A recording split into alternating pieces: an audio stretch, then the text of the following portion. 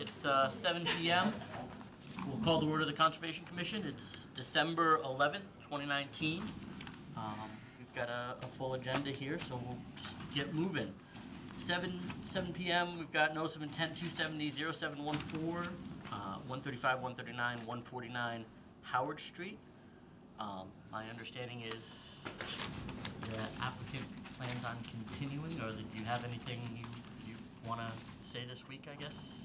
Um, on Andy. Street, Civil Design Consultants, uh, not a whole lot, we received another comment letter from Horsley Witten, which I think we may have discussed last time, there's only a couple minor comments.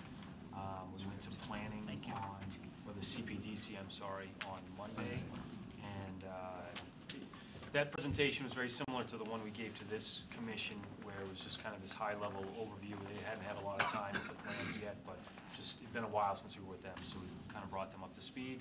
Uh, No major comments yet, but we're attending the uh, DRT meeting next Wednesday, uh, where we'll get hopefully some department head feedback, and then hopefully formal letters after that, and we'll see where we stand. So, uh, We do want the continuance, you know, we don't have really anything new to discuss here tonight, but I figured we'd just come and if there was a, any questions from this commission, and just to give this update. That's great. Thank you. Do I hear a motion? Make a motion to continue NOI two seventy 714 All those in favor? All those opposed? Great, Thank you very much. thank you. Seven oh one, we'll move on to notice of intent, two seventy zero six seven five, three sixty-four Lowell Street. Uh, this public hearing for two seventy zero six five seventy-five is now open or reopened. is being conducted concurrently under the authority of the Wet- Massachusetts Wetlands Protection Act, Massachusetts General Laws, Chapter one thirty-one, Section forty, as amended by the Reading Bylaws, Section seven point one.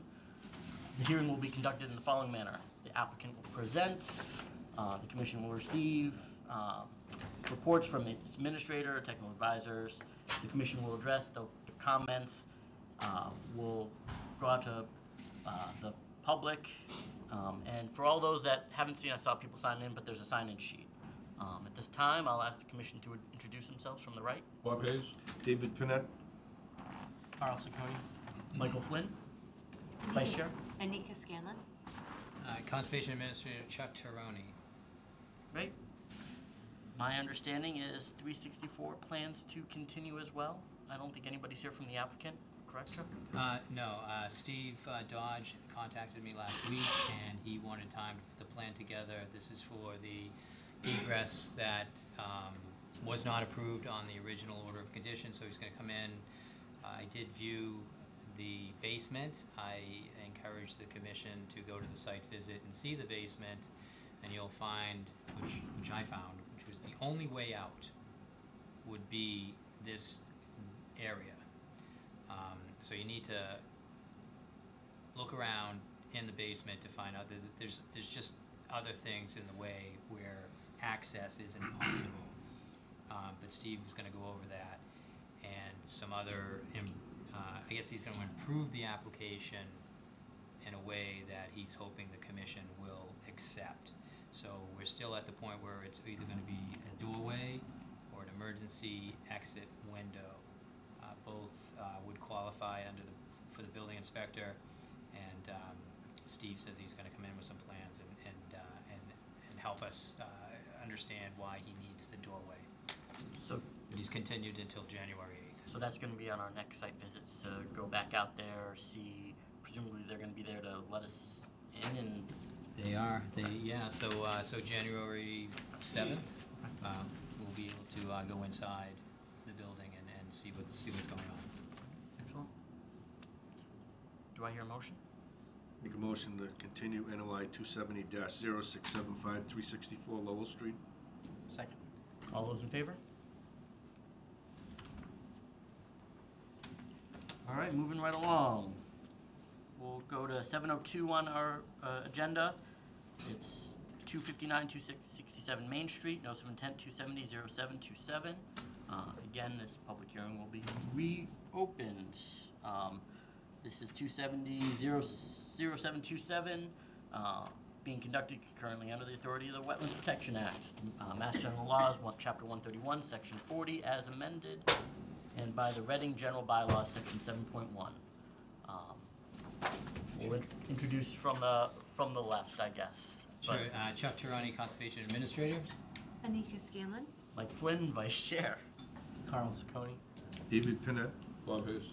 All right, Chuck, you got a So rundown I'll give an this one too? update. So, um, I went out to, uh, the site with Dave Carwell and, uh, Joe, uh, from Hancock. Uh, Joe's the engineer, and we looked at the easement that they're proposing a, uh, walking path on. And it was only to gather information whether the town would allow a walking path on the easement that, uh, would end at, uh, start at Cross Street and would end at, um, uh, Main Street, uh, right at the end of this, this property, which is, which is used to be Smith Oil, or currently is Smith Oil. And, uh, it would be a nice little cut through uh, for everyone who wants to come down to that side of town instead of walking around. Uh, we also looked at the bank of that stream and, uh, discovered it was uh, severely undercut. So they're gonna be looking at doing some improvements on that, um, that, and they're gonna proposing to clean out some of the loose material that's gathered in the stream without doing any cutting, but just hand, by hand pick this stuff up. And they're gonna propose, um, something around a hundred, uh, trees and shrubs to be planted on the bank. And, uh, typically, the engineering department doesn't want anything planted next to its easement or on its easement, but they allowed some vegetation in areas. There's some open areas where all the trees are, are missing and, you know, there's sight lines from one property to another which can be taken care of. So they asked that they needed more time to do some survey work, and they'll also be back on January eighth with, um, a new set of plans and, uh, talk to us about what, what the next steps are. Okay, I move we continue the hearing to um, January eighth. Second. All those in favor? Thank you. I'm moving right along, seven oh three on our agenda. Chuck, does this have a number, filing number? Steve, does this have a number yet? I'm Uh, sorry? Does this have a file number yet? Uh, we just got one by email. Sure, We haven't sent anything out yet. what's that number? Twenty-eight, seven oh two eight? Sure. Right after Main Street. Probably yeah, is. Makes some sense.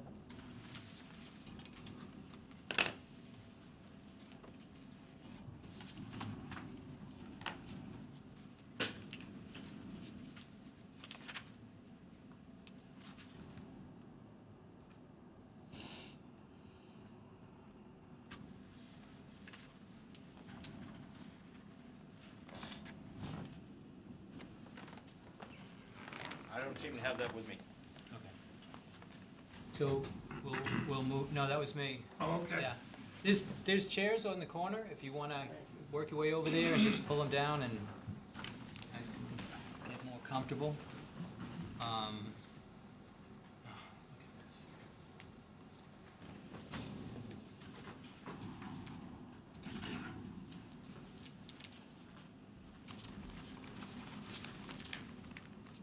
at this. All right, all right, so that's working. Good. Good. All right. So, yeah, this is a new notice of intent, so you would have to do So that. this one I'll do. Yeah, Public this- hearing for DEP number two seventy Lang. The notice of intent for two, this is Zero Haverhill Street, map twenty-nine, lot 94, 95 Hall. Uh, is now open and being conducted concurrently under the authority of the Wetlands Protection Act, Massachusetts General Laws, chapter one thirty-one, section forty, as amended, and the Reading bylaws, section seven point one. The hearing will be conducted in the following manner. First, the applicant's gonna present the proposal. The commission will receive reports from the administrator, the technical advisors, and other town departments. We'll address questions to the applicant. Um, the, I'll then give the public the opportunity to provide comments. You should address your comments to me. Uh, any, there's an attendance sheet if you would like to sign in. And at this time, I'll ask the conservation members to introduce themselves from the right. Bob Hayes. You, David Pinette. Carl Sacconi. Michael Flynn, Vice Chair. Anika Scanlon. Yeah, and if you don't know by now, Chuck Tirone, Conservation Administrator. There we go.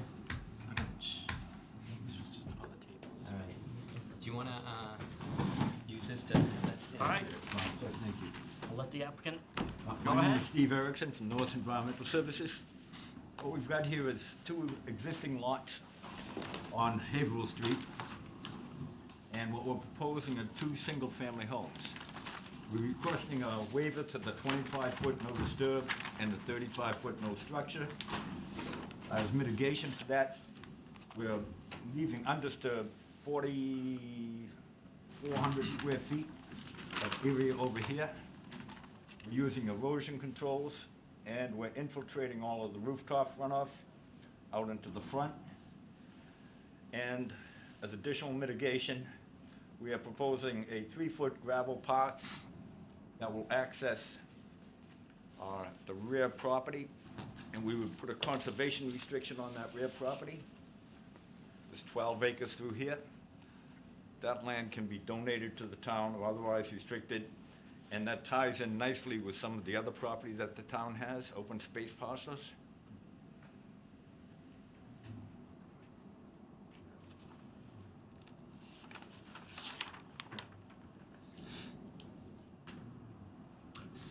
Yeah, so I, I just wanted to say, so if, it- if it, so, uh, I was actually talking to the applicant a couple days ago, and there was a discussion about, um, continuing this, this hearing.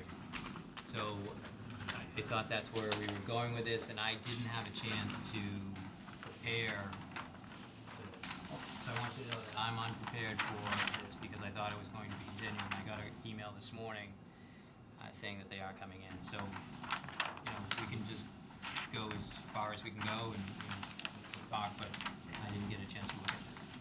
I think my take would be, just like every other site, we want to have the ability to do a site visit, um, and see what's, what's going on out there. But certainly, it's good to get an intro, and we'll be going to the site with some good background. Um, I don't, I don't know if anybody on the commission has any questions?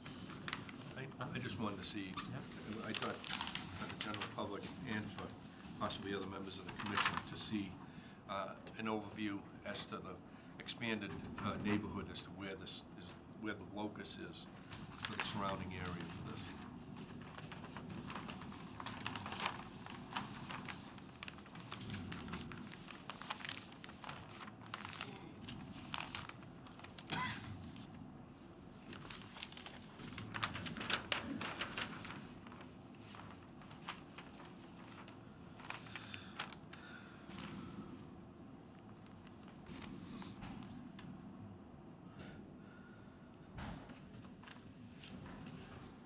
If you look at this, uh, see our parcel, the twelve acres is coming out through here. And we have the green open space areas, and this will tie right into that. It's Timberneck Swamp. Timonette, right. right. Well, that- that's one of the reasons why I wanted this to be expanded, so you could see how that, that twelve acre piece would end up to be contiguous to the Timonette swamp. By the, the drawings you have here, you really can't see that. Um, Or what else is in that area where it butts up to uh, A Street and all those other small streets that are down the other side. Well, I see, I see a building at the end of the, the cul-de-sac, is that Barney Lane? It's Barney Circle, yeah. Barney Circle? Yeah. Is there a connection from that lot? What's, what is that lot? Uh, That, there was, a hu- there are houses there on Barney Circle. So Steve, does this actually provide direct access to Timberneck? Or is there still a prop, is there still a parcel in between? There's a There is. paper street that runs up that long strip. Where's that? Yeah. Right through here, there's a paper street, so they would be able to access right over to the larger parcel. Town-owned property, the paper street? I think that one I showed you shows the, uh, the paper street Shows, actually, it shows it as lot one oh nine. part of lot one oh nine, which is at the, at the, uh, the hammerhead of, uh, Barney Circle. That the last house on the left, it, it, it shows here that that's part of that lot. So I guess it wouldn't be, that's privately owned. that is privately owned.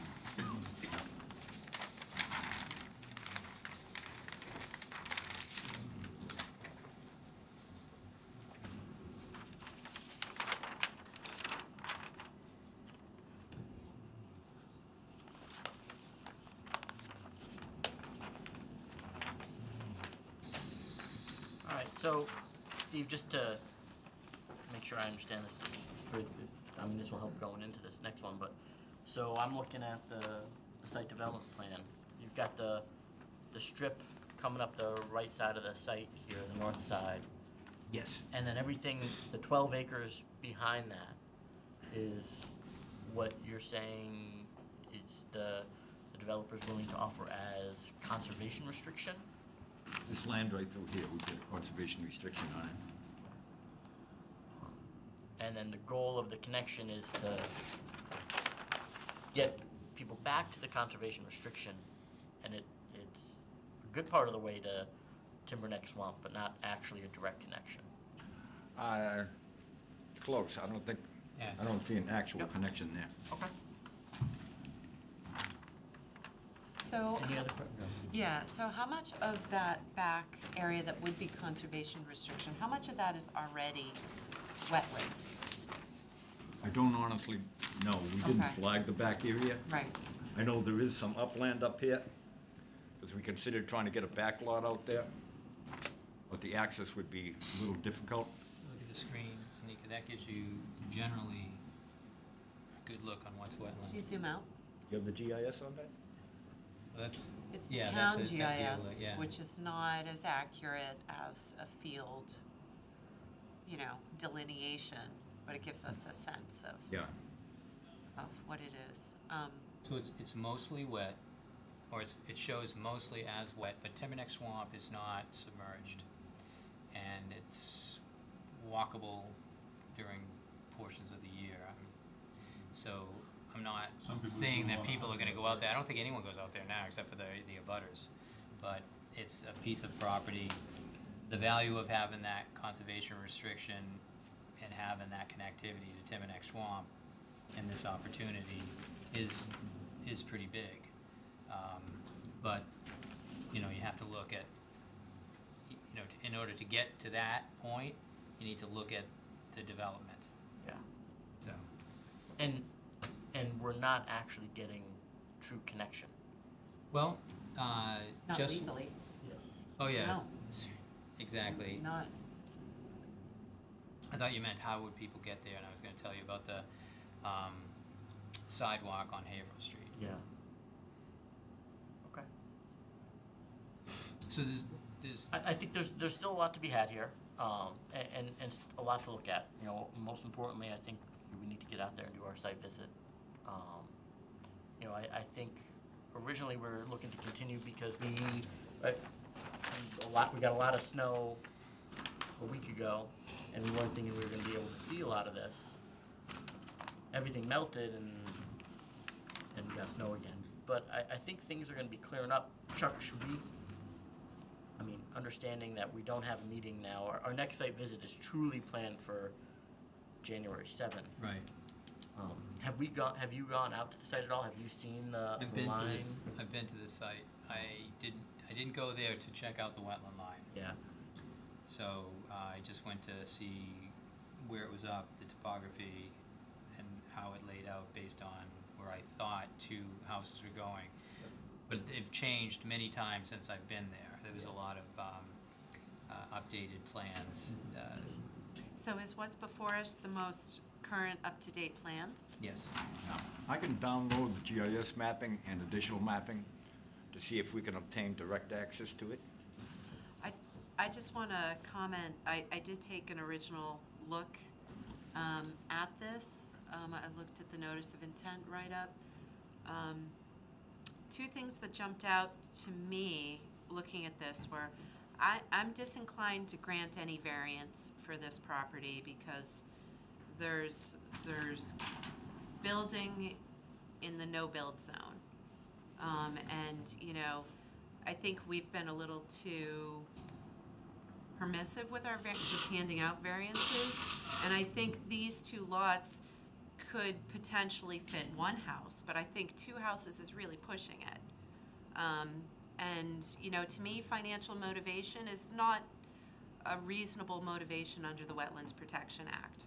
So, you know, I'm trying to look at it from the wetlands point of view, and that's where I stand on that. Um, another thing I just wanted to highlight that I read in the notice of intent was uh, there were two soils um, mapped according to the Soil Conservation Service survey uh, for this property, and one of them was a was a um, was there was a Deerfield and a Freetown series. Um, and the Deerfield series, which looked to be mostly the buildable land, um, was, was characterized as having a seasonal high water table at eighteen to thirty-six inches. Uh, which really makes me question, you know, how buildable is this lot if the Soil Conservation Service puts their water table in the buildable area, um, at eighteen to thirty-six inches, you know, are we talking, um, about wetland or, you know, um, you know, are we talking about, uh, basements? Um, are these gonna be slab on grade houses? Um, so, so those were the two, those were the two biggest things that stood out to me. I think, from my perspective, Anika, I think the point is taken, uh, I don't necessarily disagree with you. Um, I want to reserve any decision until I actually get to see it. Of course, Um, yeah, we got a lot more looking to do. Yeah. Any other comments? So I I wanted to, so I, you know, Mark Hall came in a bunch of times, and I actually talked to Jack McQuilkin about this, and, you know, I'm, a lot of information's not coming out about what the applicant's gonna do. I just feel like I'm not the person to help out the applicant, and, but I will ask, why aren't we talking about the fill to create the thirty-five foot setback? Is that something that has been, you're not doing anymore? Or is that What's the question? What does that mean? so you're showing, you're showing right here that you're twenty feet away, and Anika's saying she's gonna grant a var- she's not gonna grant a variance for this. But what I understood was you wanted to fill to create that thirty-five foot, and that's why you're creating this wetland here, and I don't think this came up. We were Like, no gonna one do talked that. about that. We were going to fill, but DEP policy won't allow us to. Okay, Policy is avoid, minimize, and mitigate. So Yeah. I can't do a discretionary filling. The only time I can fill a wetland is if I got a limited project. So I can't put, uh, fill in the wetland to meet what amounts to a fairly arbitrary setback of twenty-five and thirty-five feet. I just know for a fact that DEP would deny that. I've tried it before.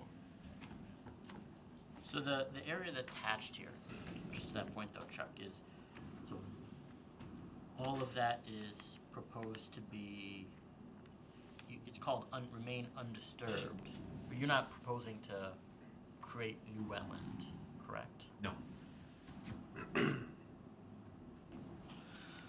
Keep in mind, these are pre-existing lots, and these lots date back to the sixties. so what is that area that says re- remain to be undisturbed?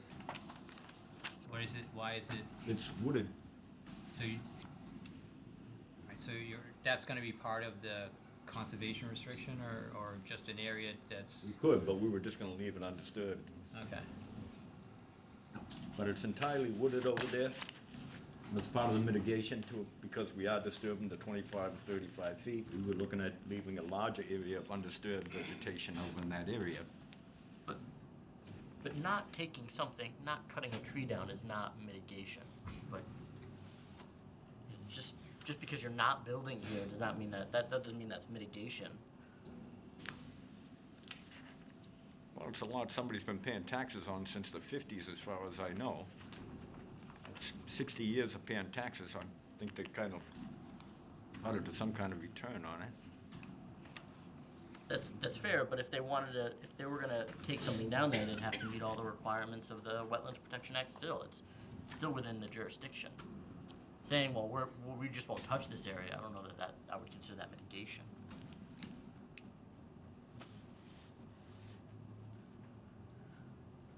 So I move we continue. Before, before that, uh, just- an- any other comments from the, the commissioner or Chuck? In the, au- in the audience. And- No, and then- I'm, I'm still then that's- curious why DEP wouldn't, like, you couldn't pick one of those areas and, so when does it become non-discretionary filling? What, what- what, what's the threshold? About ten years ago, they came out with their policy of avoid, minimize, and mitigate. Mm-hmm. And about that time, it came to the point where the only time I could fill a wetland was if I was going for a limited project filling. They would not allow a discretionary filling on any lot. Interesting. I don't know if I can get that in writing from them. No, it's, it's, it's fine, I'm not asking f- for you to, I, you know, DEP policy is, is what it is. Uh, if you, yeah, it, it looks like that twenty-foot setback, and I don't even know what the other one is, that, where the ninety-two contour, that second lot, looks like it's even closer, there's no, Well, that's twenty foot setback from the, the building. Generally, we've considered the driveway part of this as well. Hmm. The driveway is getting much closer. yeah, the driveway is closer. And yeah, so there's a deck, uh, looks like on lot one. That looks like it's closer as well.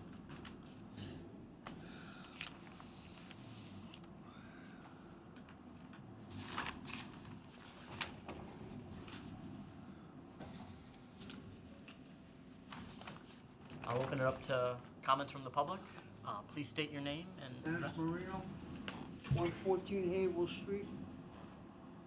I don't mind people building a house or houses, but this pathway you're talking about, where is it going? The, um, Pathway to the twelve acres. right now it goes back to the twelve acres, um, and.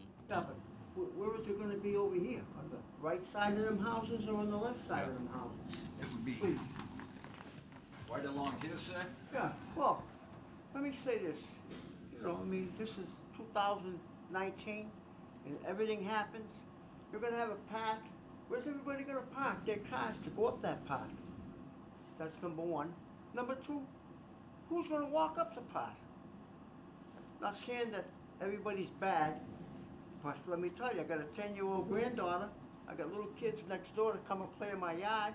I have to build a twenty-foot fence so that they can play because I'm afraid in this day and age, you don't know who's gonna walk anywhere or what they're gonna do when they see little kids. Now you can say, you know, sit down, you know what the hell you're talking about. But I think I do know what I'm talking about.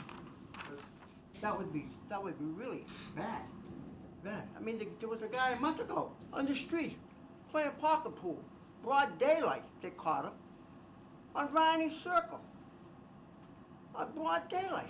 So that doesn't mean, what if the same guy was at the path and sees a little girl and two little boys playing? Now what?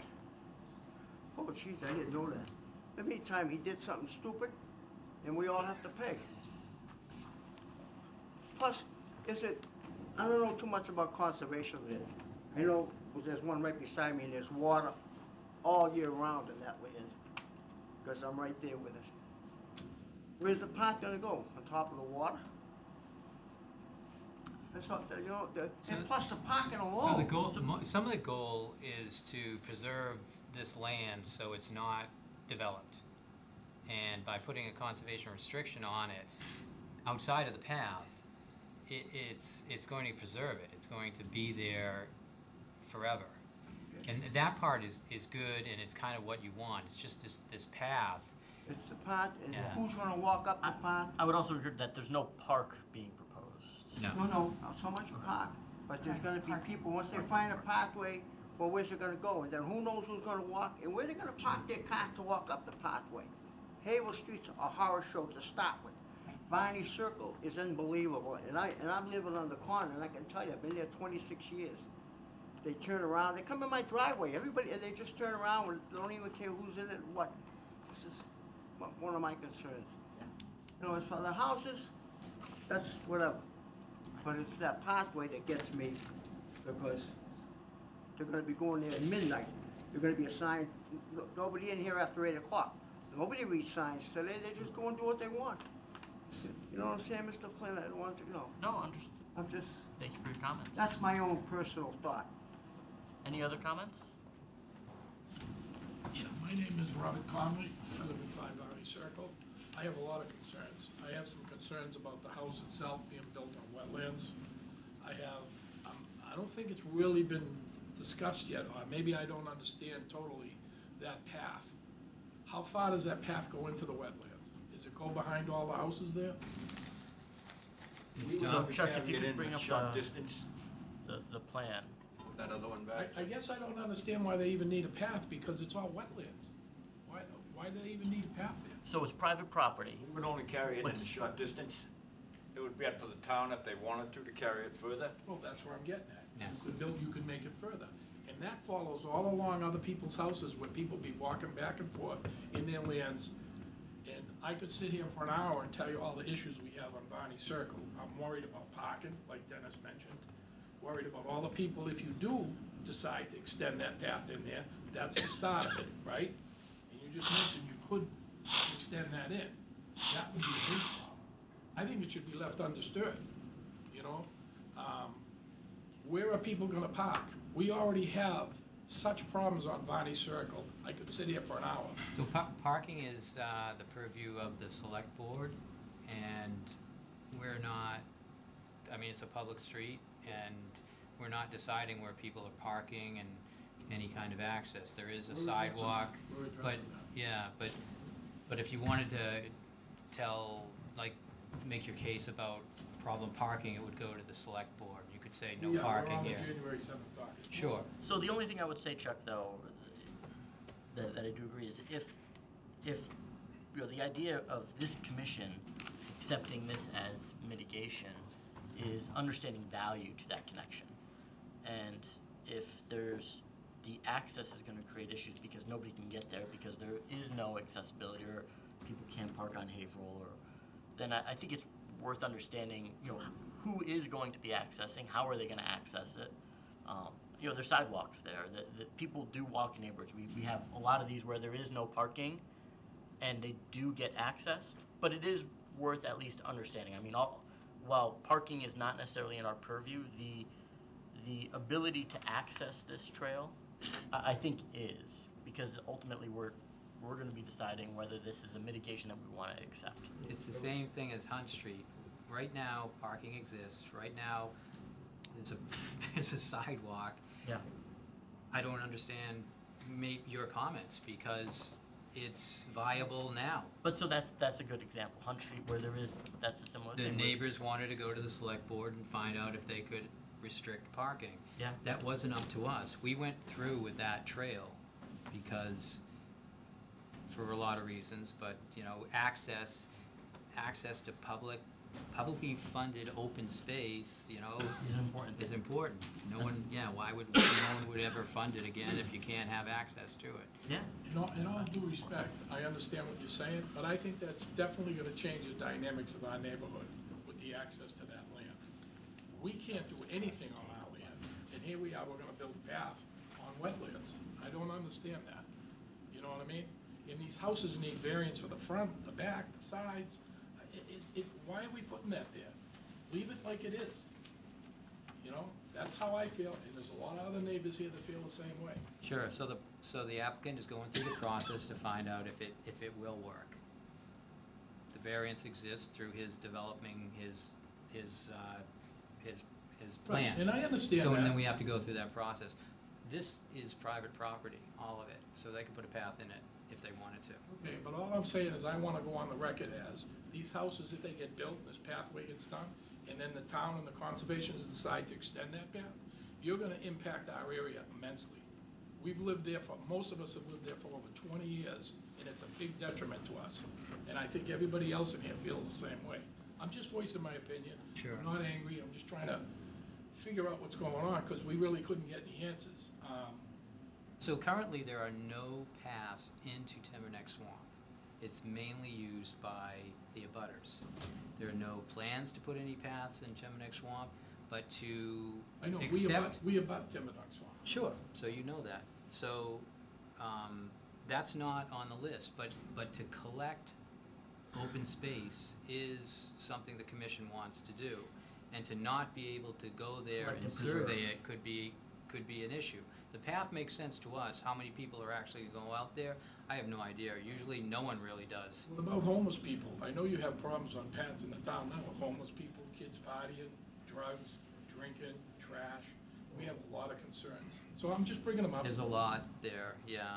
you know, and it's, So- and we're really worried about it. We have enough problems. There's many as it access is. points to, to Timberneck Swamp, though. It's not, this path is not gonna create its own separate problem than anything else that's out there. I mean, the neighbors seem to be very, uh, you know, if you're watching it as much as you say you are, then that, those issues won't happen. You know, if someone's out there with a tent, call the police, you know? My, my issue is, why do we even wanna even approach that? Let's, it's fine now the way it is, let's leave it. It's private property, and the town doesn't have a say whether a private citizen puts a path on his property. So. It's just part of this Who does the project. belong to? Does it belong to the town when it's built, or the people that own the house? It belongs to the people that own the house, but there will be an easement. But, so we're building a path for people that own a house, don't even know they own a path to the wetlands. I They actually guess I haven't even bought it understand yet. the whole theory of that. They haven't even bought it yet, I so we don't even know who those people are.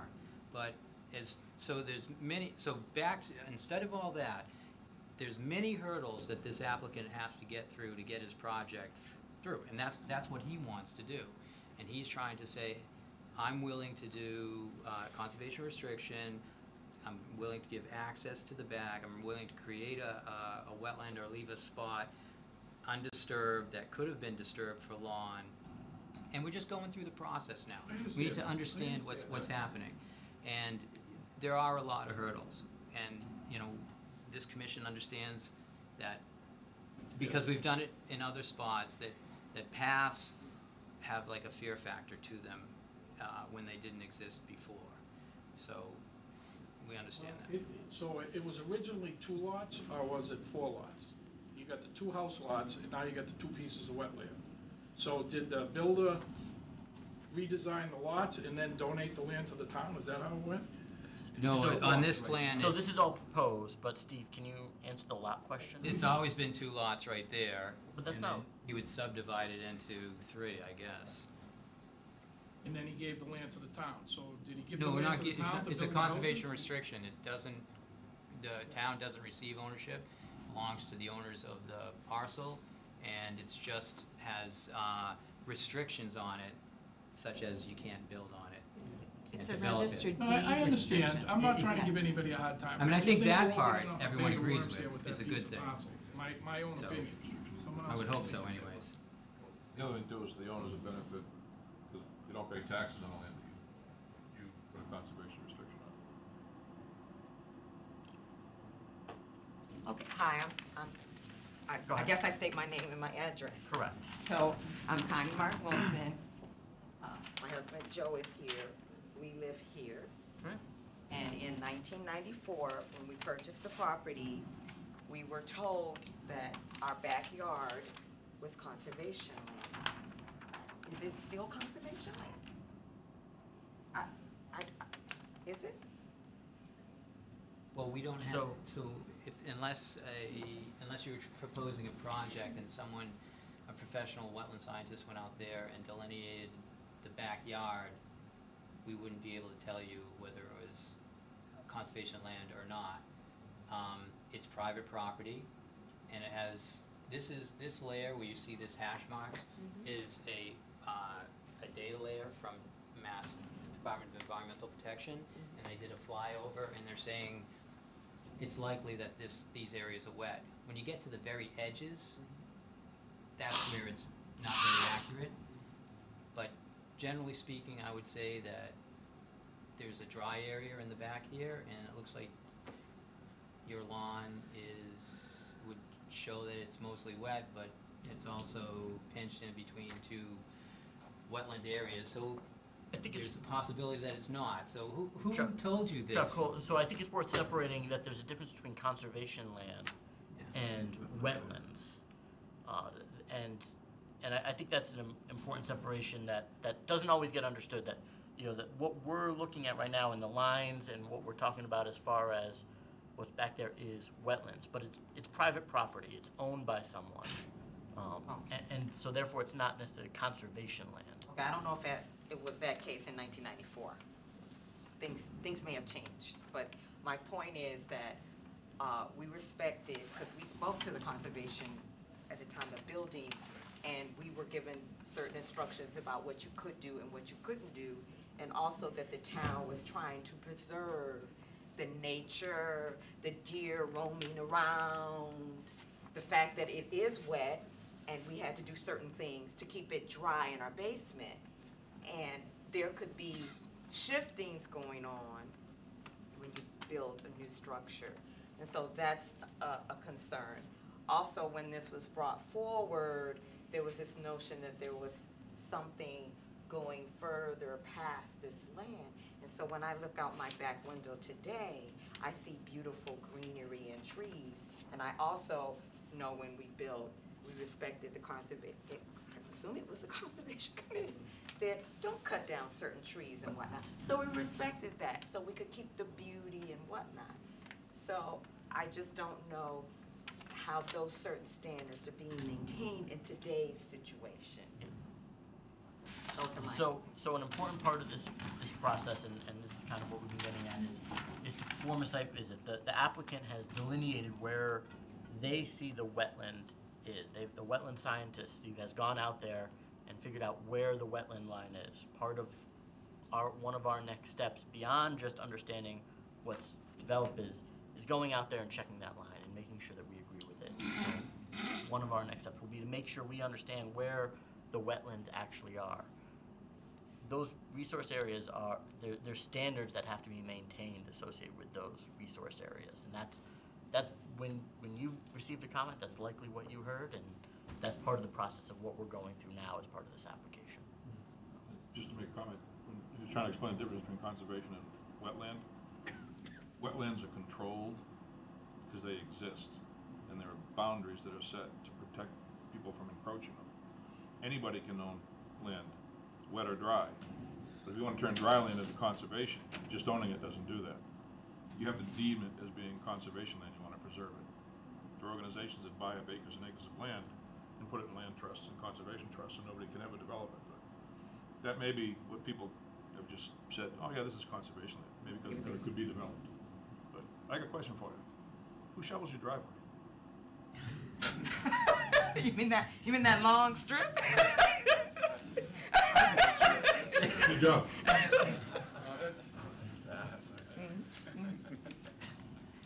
Any other comments? Go ahead. Yeah, good evening. Um, so I'm Pete Mr. Galloway. I live at 15 Vine Circle. And uh, big issue to me is the path. Uh, I'm really worried about the security. I have two small kids that kill them right now. We go outside, we play basketball, we play hockey, right? With other kids too in the circle. Street behind us Pittman, the same thing, right? Um, when we moved in um, some years back, we had uh, someone down the street coming, meeting someone else, um, selling drugs all the time, right? So we issue with people selling drugs. Two months ago, we had someone parking right behind the circle, taking care of himself in the middle of the day, right? You know, so, you know, not just the parking issue, things of that nature, we're taking that up with, uh, with other board. Everyone's been great about that, you know, so, you know, we really appreciate that, but, you know, towards this, right, we're really worried about safety, you know, me and the impact to our kids. You know, I'm already watching my kids, whenever outside, I'm with them, my wife's with them, right? You know, we're already worried as it is, people coming around, turning around, parking, taking business calls, right? You know, I just recently actually put the ring, you know, for my doorbell, and I'm sitting at work, and every, you know, it seems like every fifteen minutes, it's going off, going off, going off, someone's coming and turning around, you know? The people are parking there, taking calls, taking business calls.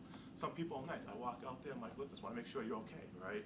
And they'll come back me, hey, I'm okay, I'm just, you know, making call, I'm lost, fine, can I help you, right?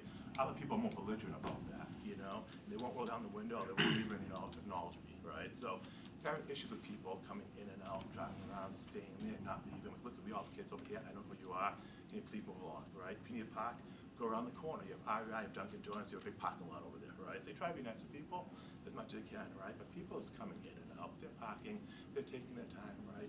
You have people selling drugs, you have people sitting there taking care of themselves in the middle of the day, right? So honestly, you know, I understand what you guys are trying to do, and it's a great that you're trying to do that, right? And, and, and this contribution and, and, serve that, right? And that's fantastic, right?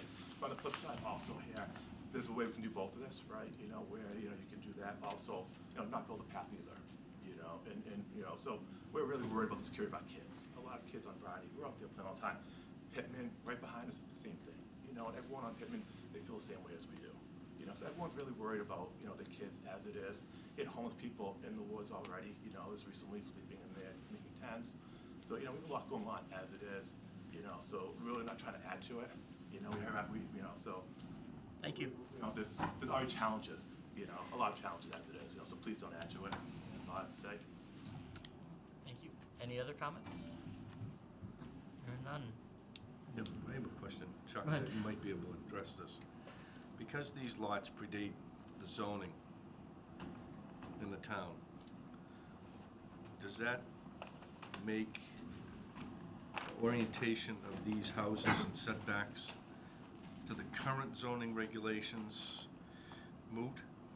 I know that's happened in other places in town already, so David, I could not answer that question. I know this, I know this has to go through, That's you know, CPDC Appreciate and you zoning. think that I'm, a lot of time on my hands and I read the zoning bylaw, but I, I don't. Uh, I don't know the answer to that question. Um, So, Dave, do you have a reason for asking? Just looking at the setbacks and the, and the request for the variances, if, if the setbacks, as they're written in the, the explanation for request for variance, if these, the setbacks were not as stated now in the current zoning setbacks, because of the age of the lots, um, there's a potential that these houses could be reconfigured for their shape and their setback that might bring them within the wetland setback. That's the only reason why I asked that. We had a recent rewrite of our zoning regulations, so I didn't know how that might in- So- impact this wetland regulations as well. yeah, I think that's, that's a specific question I don't have the answer to. So overall, I, I think there's still a lot to, to see here, um, and, and talk about. I, I do wanna make sure we get the site visit scheduled, and, and what I don't necessarily wanna do is wait till January seventh, and it snows two feet on January fifth, and we can't get out there again for another who knows how long. Um, so I'm wondering what's the commission's flavor for trying to schedule something in the next week or so. Not during the week of Christmas, but, um, So next week, because I think we're gonna have, we're gonna be able to see things in the next week and a half, I think. Yeah. We also gonna Next request Tuesday, next Monday. that Steve, Steve be with us as well? Are we gonna go by ourselves? Yes, um, let's find a date and see if Steve can, can be out there too. Saturday's supposed to hit fifty-six and rainy. I don't know if that helps. Can't do Saturday. I can do early Tuesday. Yeah. How, how early can we get out there? Tuesday's supposed to be snow, It's supposed to snow again? on Tuesday, yeah. Oh. Yeah, Monday, Tuesday. I mean, it's warming up and it's gonna be rainy this weekend. Fif- high fifty-six, high forty-seven Saturday and Sunday. It's the next best window for the next week. Supposedly, if the forecasters are right. Don't say it. Just, just just work with the best information we have. We just do the best we It's, can. Zealous, zealous, zealous. Mon- Monday thirty-seven, sunny.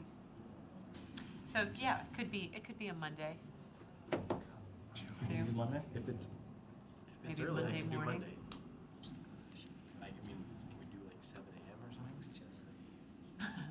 I, I could. It is crazy, but I I could. mean, that's for me, that's a, because only because it gets gonna get dark at four, so I can't do four thirty. It's too gray. Or I could do four thirty, but it's gonna be dark. Steve, Really right. has a flashlight. I got a headlamp, I'll give you a headlamp. need- Yeah, I uh, could do. I'd like to walk it with Steve. forty-five. And, Steve? and I'd like Chuck to be, I'd like Chuck to be there. Steve, you available the Seven's sixteenth? probably too early.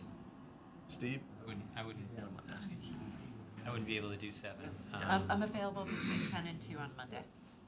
I could shoot for noon, I could try to shoot home, I mean, I'm only in Woburn, so. Is he, Steve? So Are twelve you on available Monday? Try Monday? noon on Monday? Russell's available anytime. Okay. Is everyone available Between Monday ten and morning? two? Monday at noon? Monday at noon? I'm available at noon at this point. Everyone else okay with that? Yeah. I It'll be can my do lunch that. hour. Yep. Yeah. I'll bring you the Can I have sandwich. PB and J? That'd Yes. great. Good. Alright, so Monday at twelve. Um, Go ahead. Name's Theo Carmone. I drew the short straw tonight. There is a list of bulleted concerns for the board. They wanted me to present uh, with signatures, so I can kind of drop it off with you. Yeah, could you, Could you email that could to you us? email it to to, you. so, so if you email it to Chuck, if Yeah. you have, Okay, um, we'll That's get it fine. part of the public record. okay. It'd be great. All right, any, uh, I, I just have one more question, I'm Sure. sorry to be a No. pain. Do I, I just wanna understand it right, is, it's private land, but when they build the houses, is the land gonna get donated to the town? No. Because, okay, but No, did it's I, a- did I understand when you said, I'm just trying to understand It's, it, it's a deed restriction.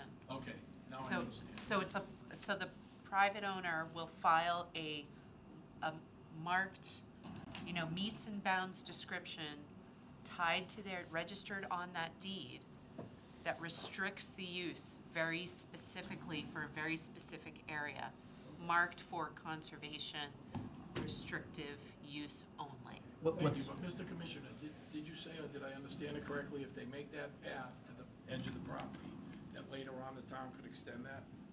so what's, No one said that. what's included as part of Yeah, that? think you did. You What's said- included as part of that is an easement, essentially on the, on the property to get back to that conser, that restriction area. So what, what would be included as part of that conservation restriction would also be an easement on the, on the property is what they're currently proposing. I, I And, did and part of that easement, the Yeah. reason for, for it being an easement is, we don't want a future owner coming in and saying, you know, it- well, I know, I know somebody else agreed to it, but I don't wanna agree to that. It, it would, both the, the restriction and the easement would be part of the deed.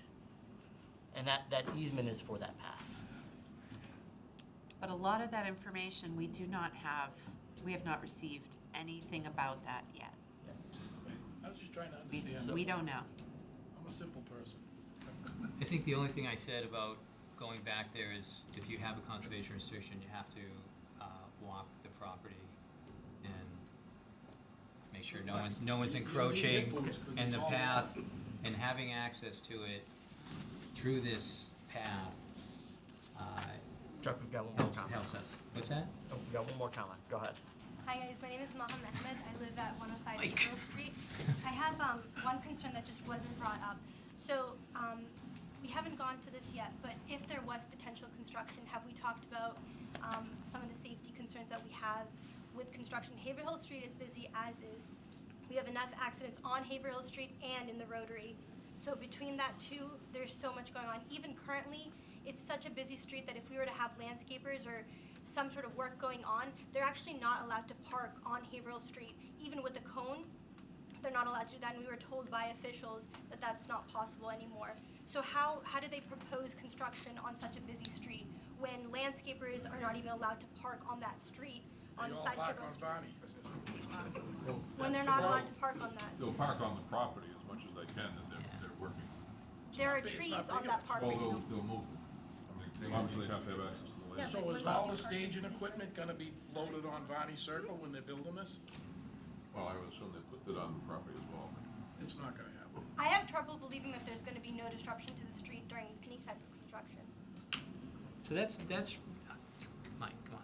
This, a lot of these things that are coming up is not what conservation does. Um, we don't talk about, but we, we don't have any right to restrict someone from working on the street. Um, and not to park in Varney Circle, I mean, it's a public street. So we really have to look at something that's going to alter the resource area and make sure that it meets our, our regulations. Um, so, and again, it- it's, I'm just stating this, it's not where my, my heart is, I hear what you guys are saying, that a conservation restriction on a piece of property that's close to Timberneck Swamp for that connectivity is, is enticing for the commission. There has to be a review period, there's no access to this property except for this proposed path.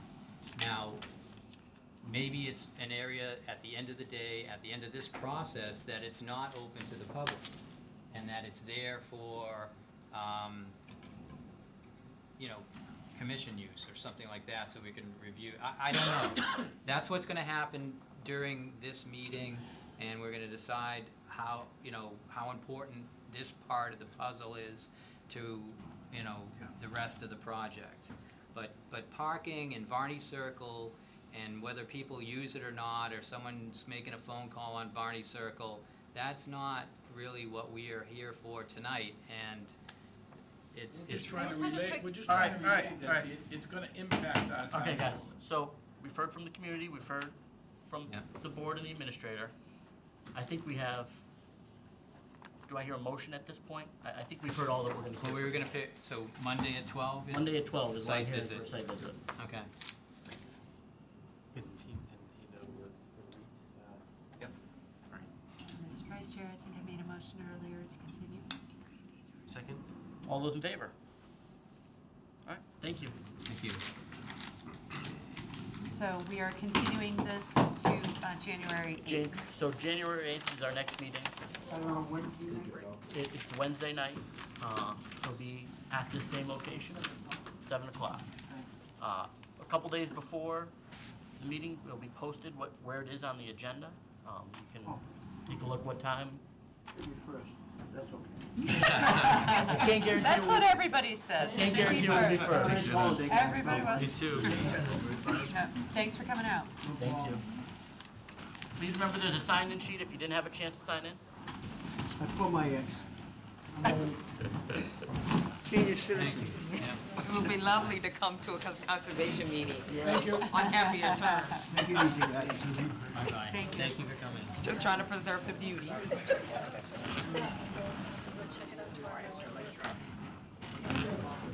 Okay.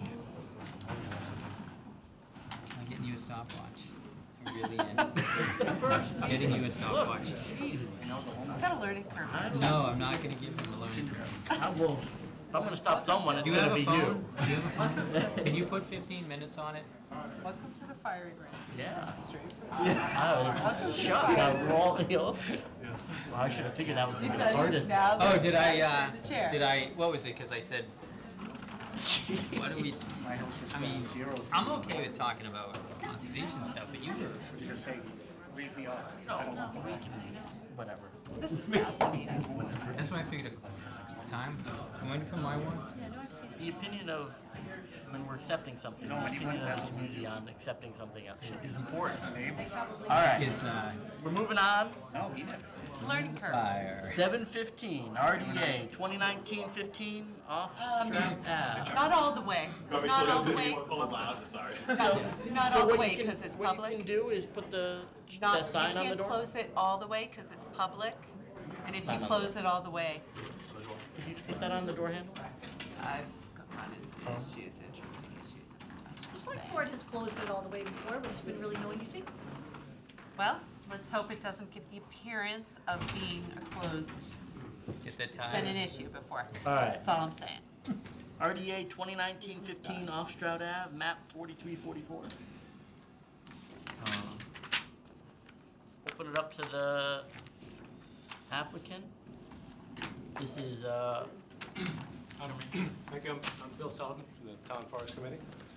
Uh, Thank you for the opportunity to come in again. We came in in last February, the first time, and then most of you were on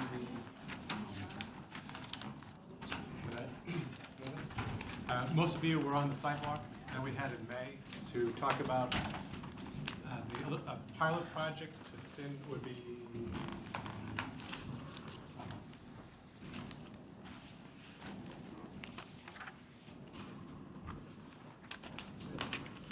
pilot project to do some selective thinning within the town forest to improve the, the health of the town forest. So as this is coming up.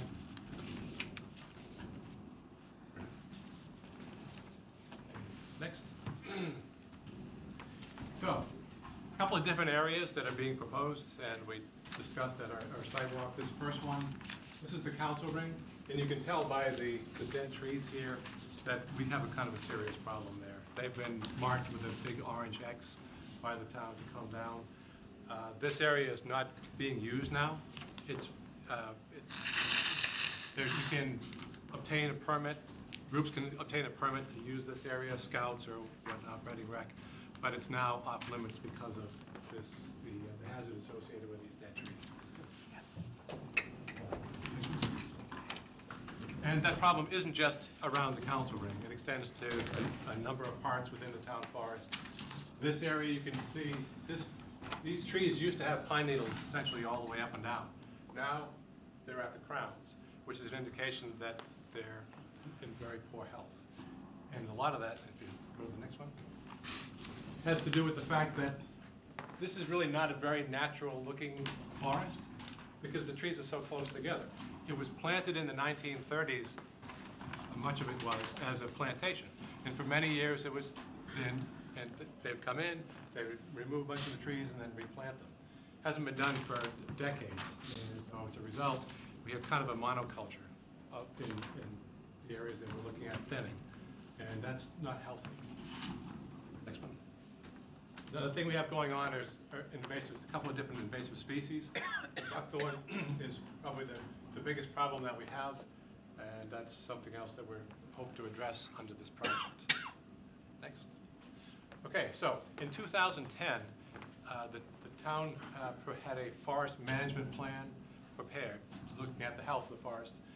And the report talked about all ages management. So there are three age classes, seedlings and saplings, uh, smaller trees, four to nine inch in diameter, and then the more mature trees, uh, larger diameter. The healthiest forests have all three.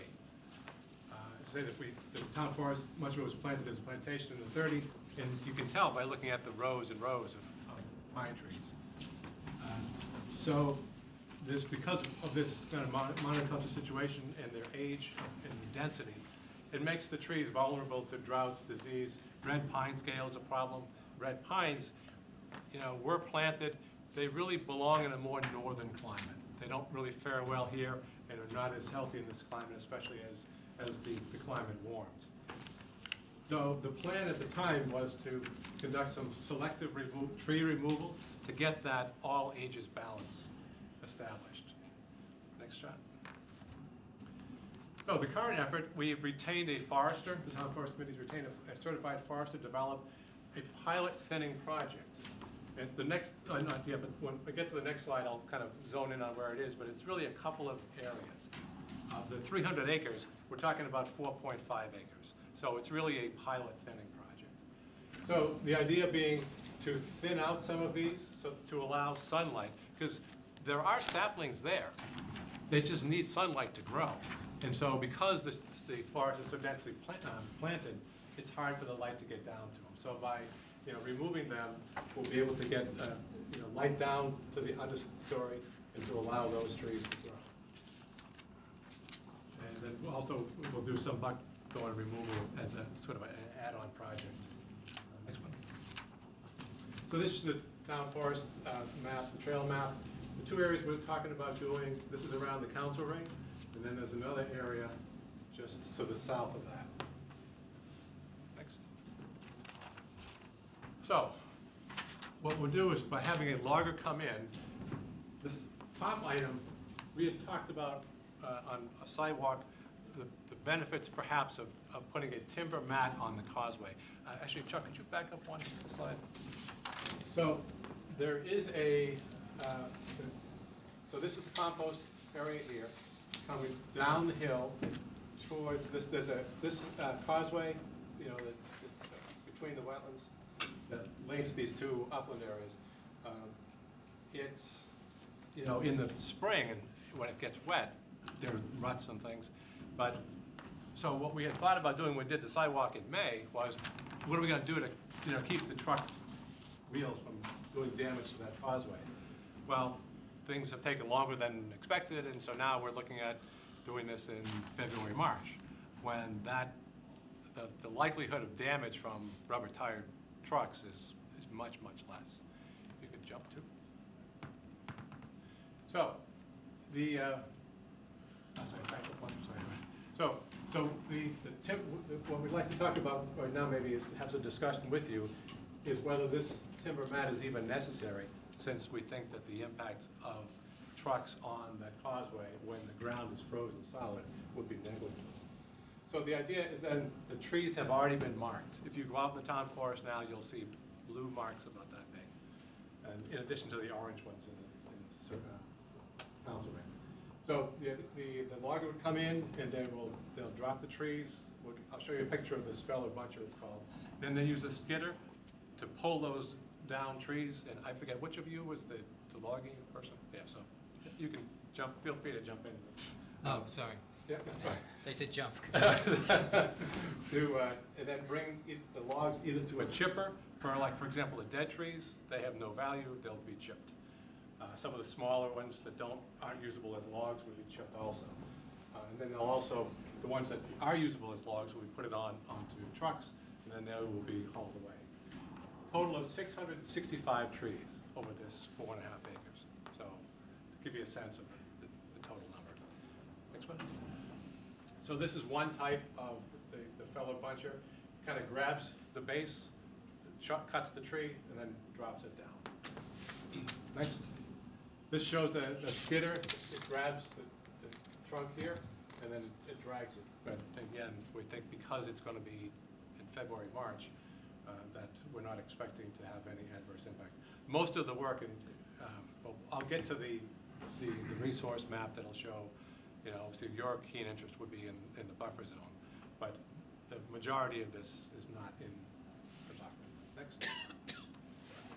So it's a little hard to tell, but some of these, these shots show the, uh, the the blue marks that, uh, so that it'll be very clear that, uh, you know, which trees the log is to take down. Next.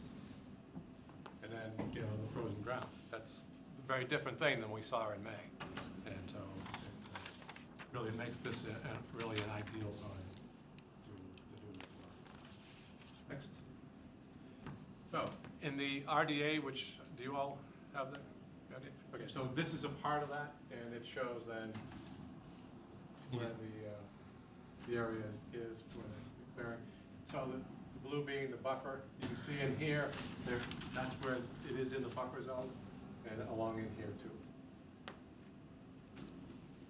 So there's our applic, the application, uh, so that we're requesting uh, approval for the project. And uh, we have a number of steps to go through yet. Go to the next one. The next step would be, there'll be a public meeting just to brief the public on what's going on, so people don't get a lot of calls about what's happening.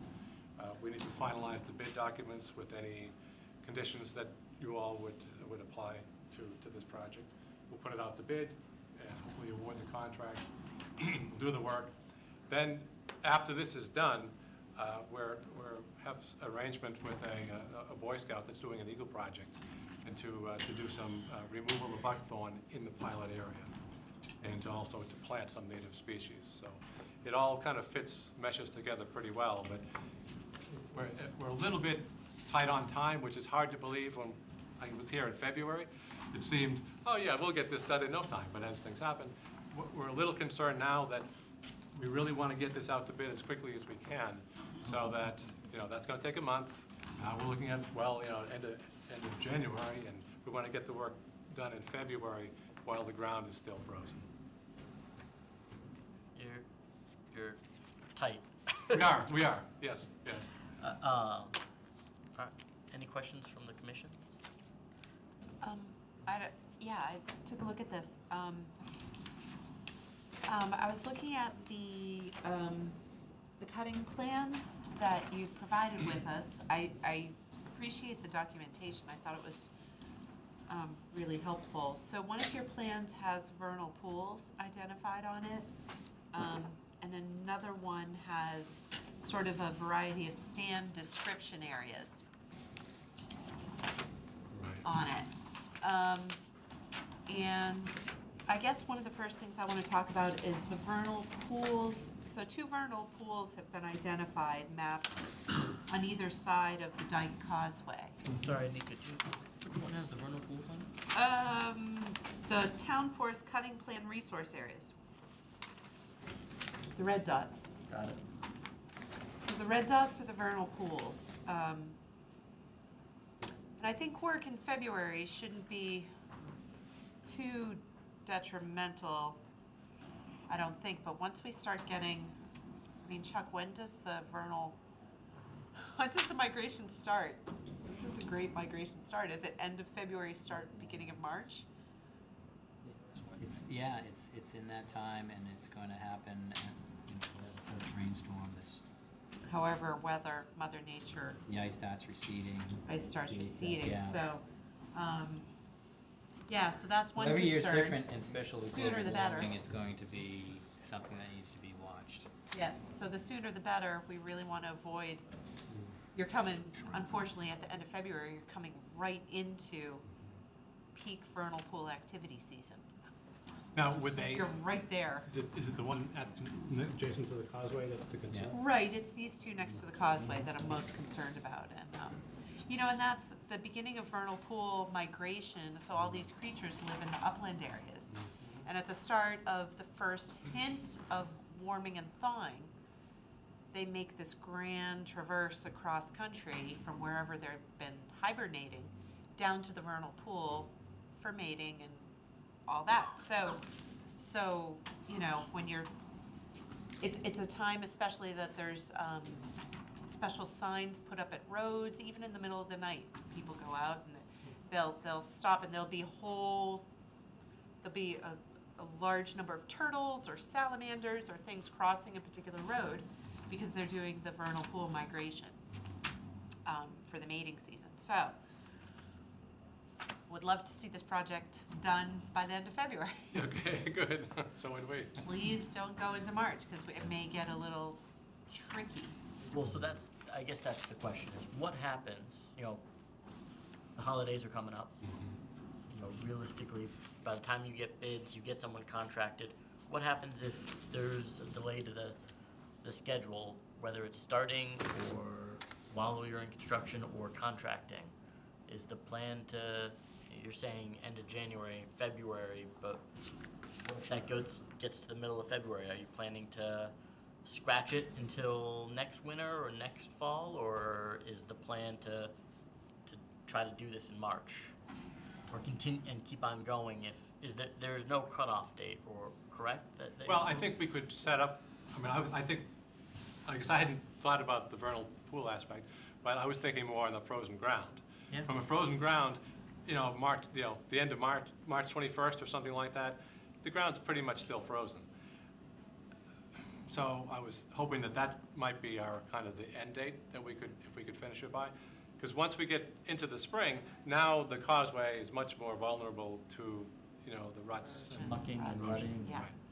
yeah. So, but I, I, So that's, so that's a totally just Yeah. situational, it's, it's, the vernal pools are there, they're mapped, it's, it's something that's gotta be considered. Um, and I don't know which target species were identified for those two pools, but if there's anything, uh, I don't have a good understanding unfortunately of, um, you know, even endangered populations, because there tend to be a lot of endangered, a number of endangered species are active in the vernal pool, so that's, that's a concern. Um, the other, um, most of the cutting areas identified with, with your, uh, red dots there.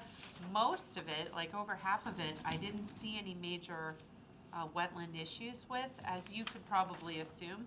The part that I had kind of the biggest concerns about were identified as um, the stand identified as forty-five.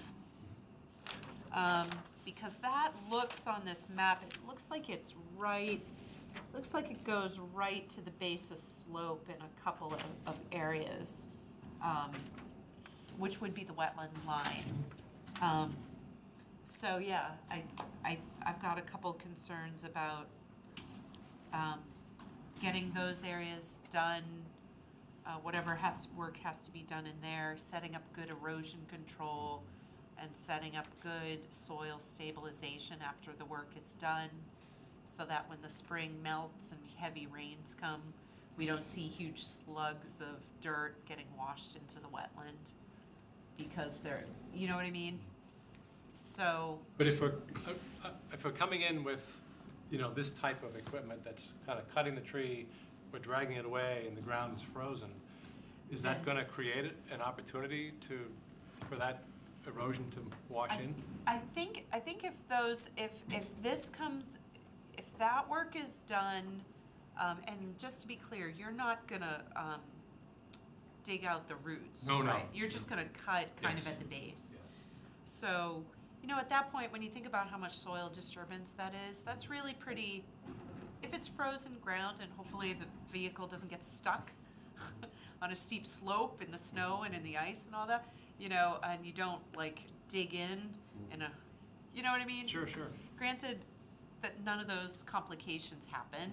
Um, if there's no, if there's no severe rutting that really creates big holes in the dirt, you know, I think that's ideal.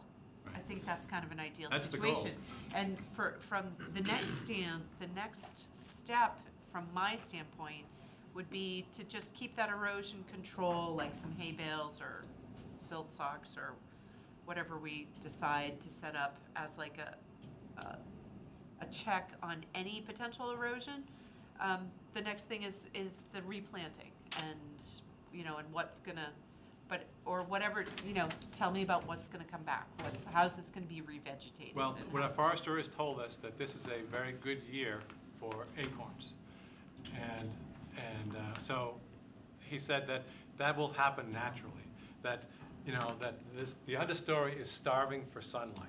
And once that appears, then the saplings and, you know, these acorns will take off. So there really, there is no need Which from a, which from a conservation standpoint, is kind of exciting because acorns means oak trees and oak trees.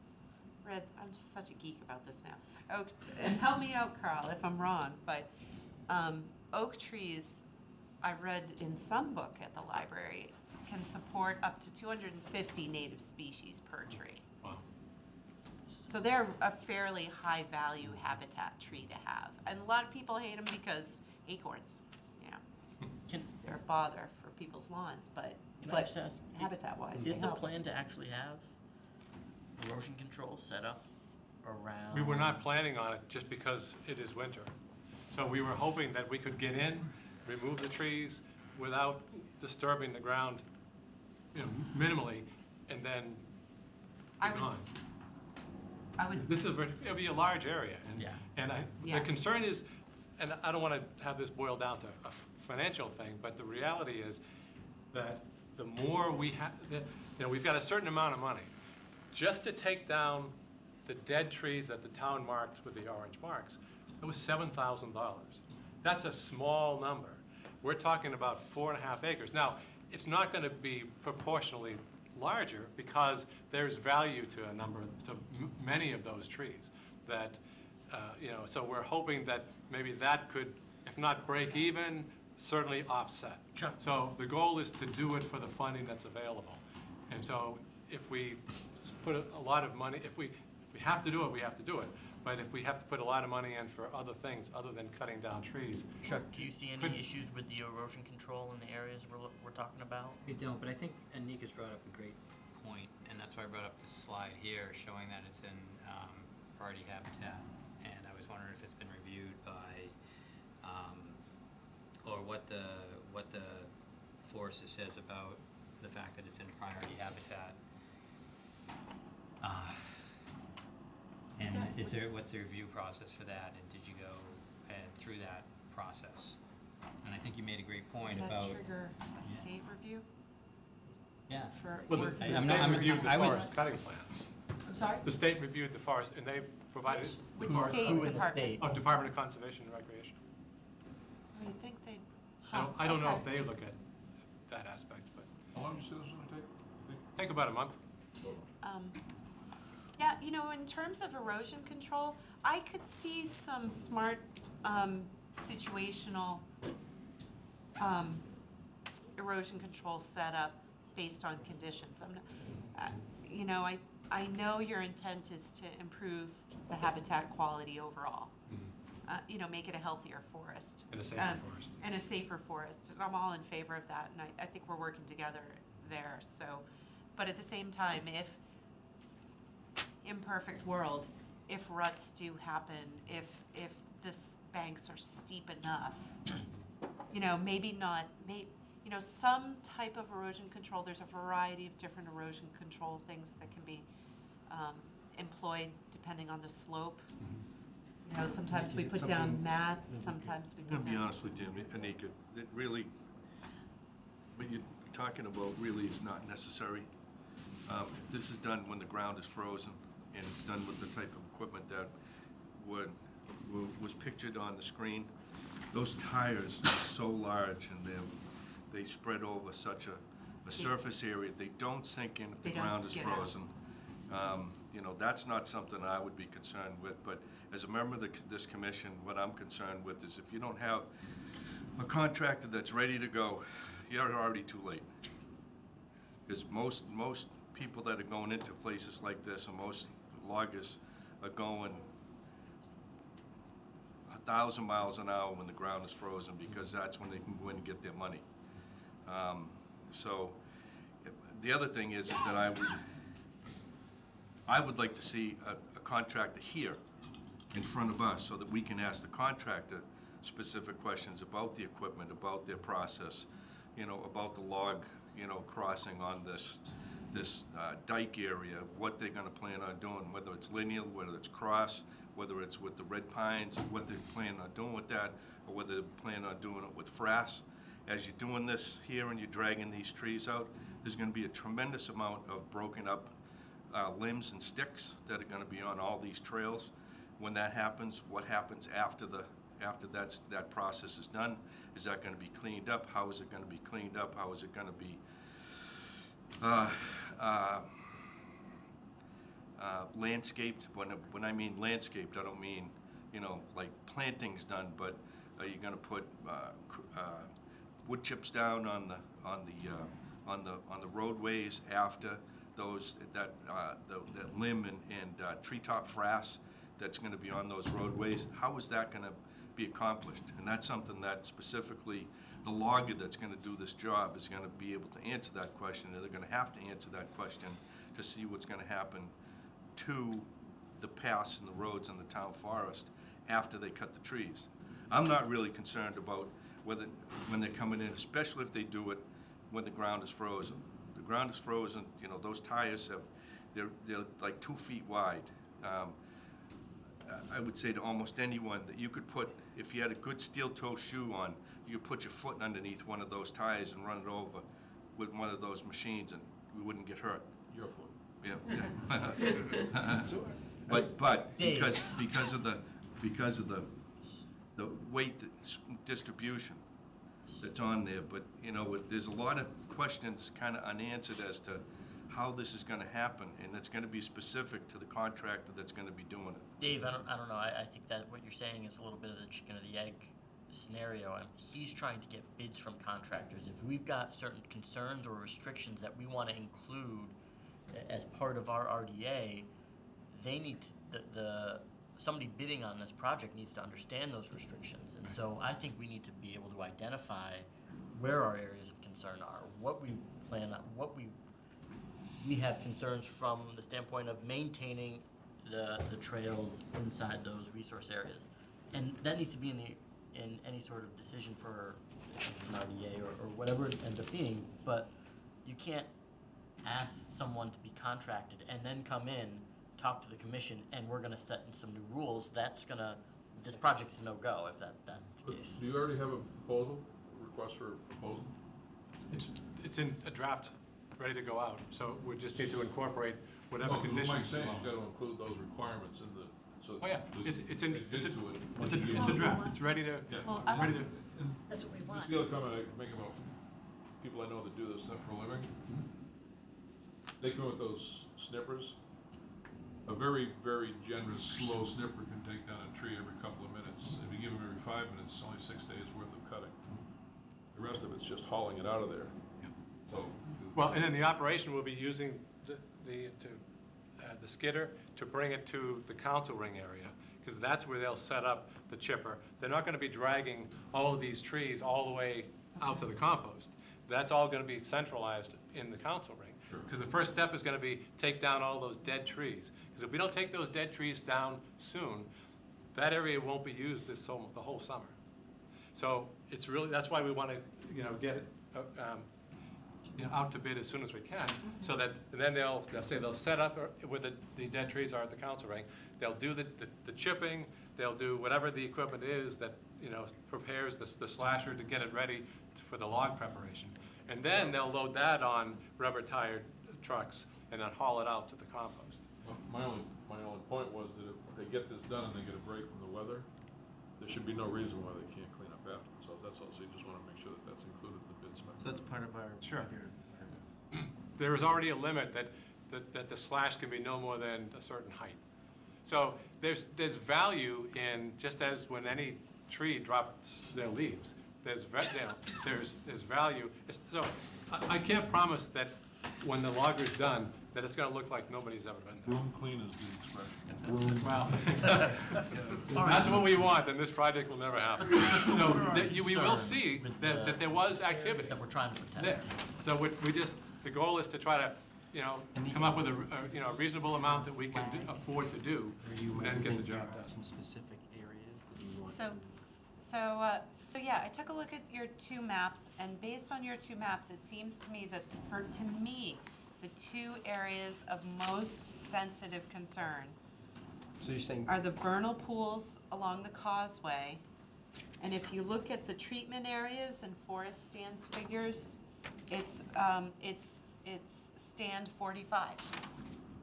and to be clear, right, and you're It's saying only not, stand not the 45. entire, not, not have siltation along the entire four and a half acres, but specific areas?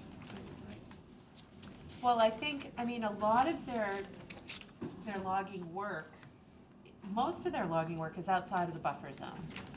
And then there's a small portion that's in the outer, the exterior, the, the outer fifty to hundred foot part of the buffer zone. But that's not true for the area of, of stand forty-five. Stand forty-five, it goes from the buffer zone pretty much, in some areas, right up to the wetland. So stand forty-five is really the area that I'm most concerned about, um, and also the area for, where these vernal pools are active around the, the causeway. So are we thinking, we do want, we would want some erosion controls in the area of forty, area of forty-five, when I, you s- say? I still think that could be, uh, uh, you know, based on conditions, I really hope that, you know, Dave, I don't ha- I didn't have working knowledge of how fast and how, um, non-damaging this equipment can be. But I also don't know what the ground conditions are gonna be this winter. Um, And, and and- if it gets and I'm- delayed, Believe me, I hope that conditions are ideal, so that it's all frozen solid and there's no damage to the ground. Um, and, and it's the perfect time of year to do this, because there's no other low shrub or herbaceous growth that's gonna get destroyed, that's in the process of growing, so, um, well, very little. I'm sure some of those shrubs are gonna get, um, damaged, but, you know, like I said, my major concern is stand, um, forty-five, uh, erosion control around that, and erosion control, uh, around the dike. What about the vernal pool, and what about review Well, from I- NISA? Yeah, yeah, I So don't know. was that Chuck about the review? Uh, I don't so know the it's, state it's rare review. habitat. Yeah. And I just checked notice in- of intent form, which, I, I just think the applicant needs to prove that, um, just show us that he's exempt, or send this application, you know, to For a prelim- Heritage. for a and see what they preliminary say. review. Yeah. If they're not exempt, that step has to ta- be taken. Do you know, do, And, and. do you, and- have you looked into this at all, whether you guys are exempt from the, I have not, no, um, no, this was, no. do you know what it takes I to I be can exempt? talk with Jane, because Jane, Yeah, you just don't, yeah, if we had, uh, if I had my iPad here, we could look, look it up. But it's something we could get to pretty quickly, but if it has to go through that step, it could be a month. Yeah. Just, just a question, since Laura Dooley has reviewed this and has given us her Yeah, she's DCR. verbal appro- approval, that doesn't, she wouldn't have reviewed that already? I don't think they're in the same circle. But it would be easy just to, to give him a call, but it's a step that we don't want to avoid. Um, I agree. It's, it's important. Uh, It's, so who, who do we need to? So this is, um, this would be natural heritage who who you'd have to contact. And I could provide that number tomorrow, or you could ask the, um, You the phone the number? forester Please. if he's exempt and to just cite that, in the regulations. The project is exempt, or is? Yeah, he is- forced, to have, if you have a forest cutting plan, are you exempt from MESA review?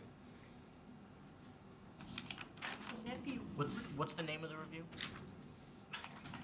I thought you just said. M E S A, MESA. M E S A. Yeah, it's part of natural heritage, um, NHESP, or Natural Heritage Endangered Species Program.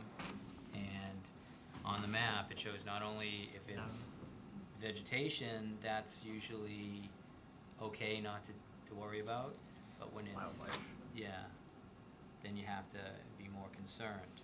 I don't think this step has been taken, and I don't think the applicant, you don't, seems like you didn't, I, I, I don't know what, at, at Yeah. DPW, DPW really was the author of, yeah, primary so author of the I think RDA. needs to, it needs to be looked at. Here's, uh, I agree. Here's, So what would be, so what if it's not exempt? What, what happens? uh, so you send, uh, in the application, they come back and, uh, with some, they probably would tell you when to do the project and Yeah. when not to do the project. Similarly, they would I have think they're conditions. gonna echo what Anika said, by y- January and February, stay out of March. Similar to any other, they would have conditions associated with, this is the right time to do it, or this is what you need to protect, or this is what you need to look out for, based on what's out there. And uh, particularly with the wildlife, that's the concern. Um, It's just, it's another level of review. And, Yeah, I'm not familiar if, if you have a, like, a town forest plan, if you're, if you are exempt or not. can that be written into your, um, I guess, I don't know what your. Contingent on. Contingent, could that be written in because of timing? I don't think we can afford to come back here in January. I, I, I don't disagree. Um, Um, I, I, if you, if you can get me some, um, uh, some sort of documentation from Natural Heritage that, um, your activities are, don't, don't apply, um, and that MESA review is not required for this project, if you get some magic email from them, um, then I, I don't have a problem, um, writing in some provisional approval based on that information coming to us. I don't know what other people think. yes. Have any problem with that? I would agree, I, I mean, I, I would make, make a, any sort of decision contingent on just getting some sort of documentation from the state that this doesn't have to go through that MESA review.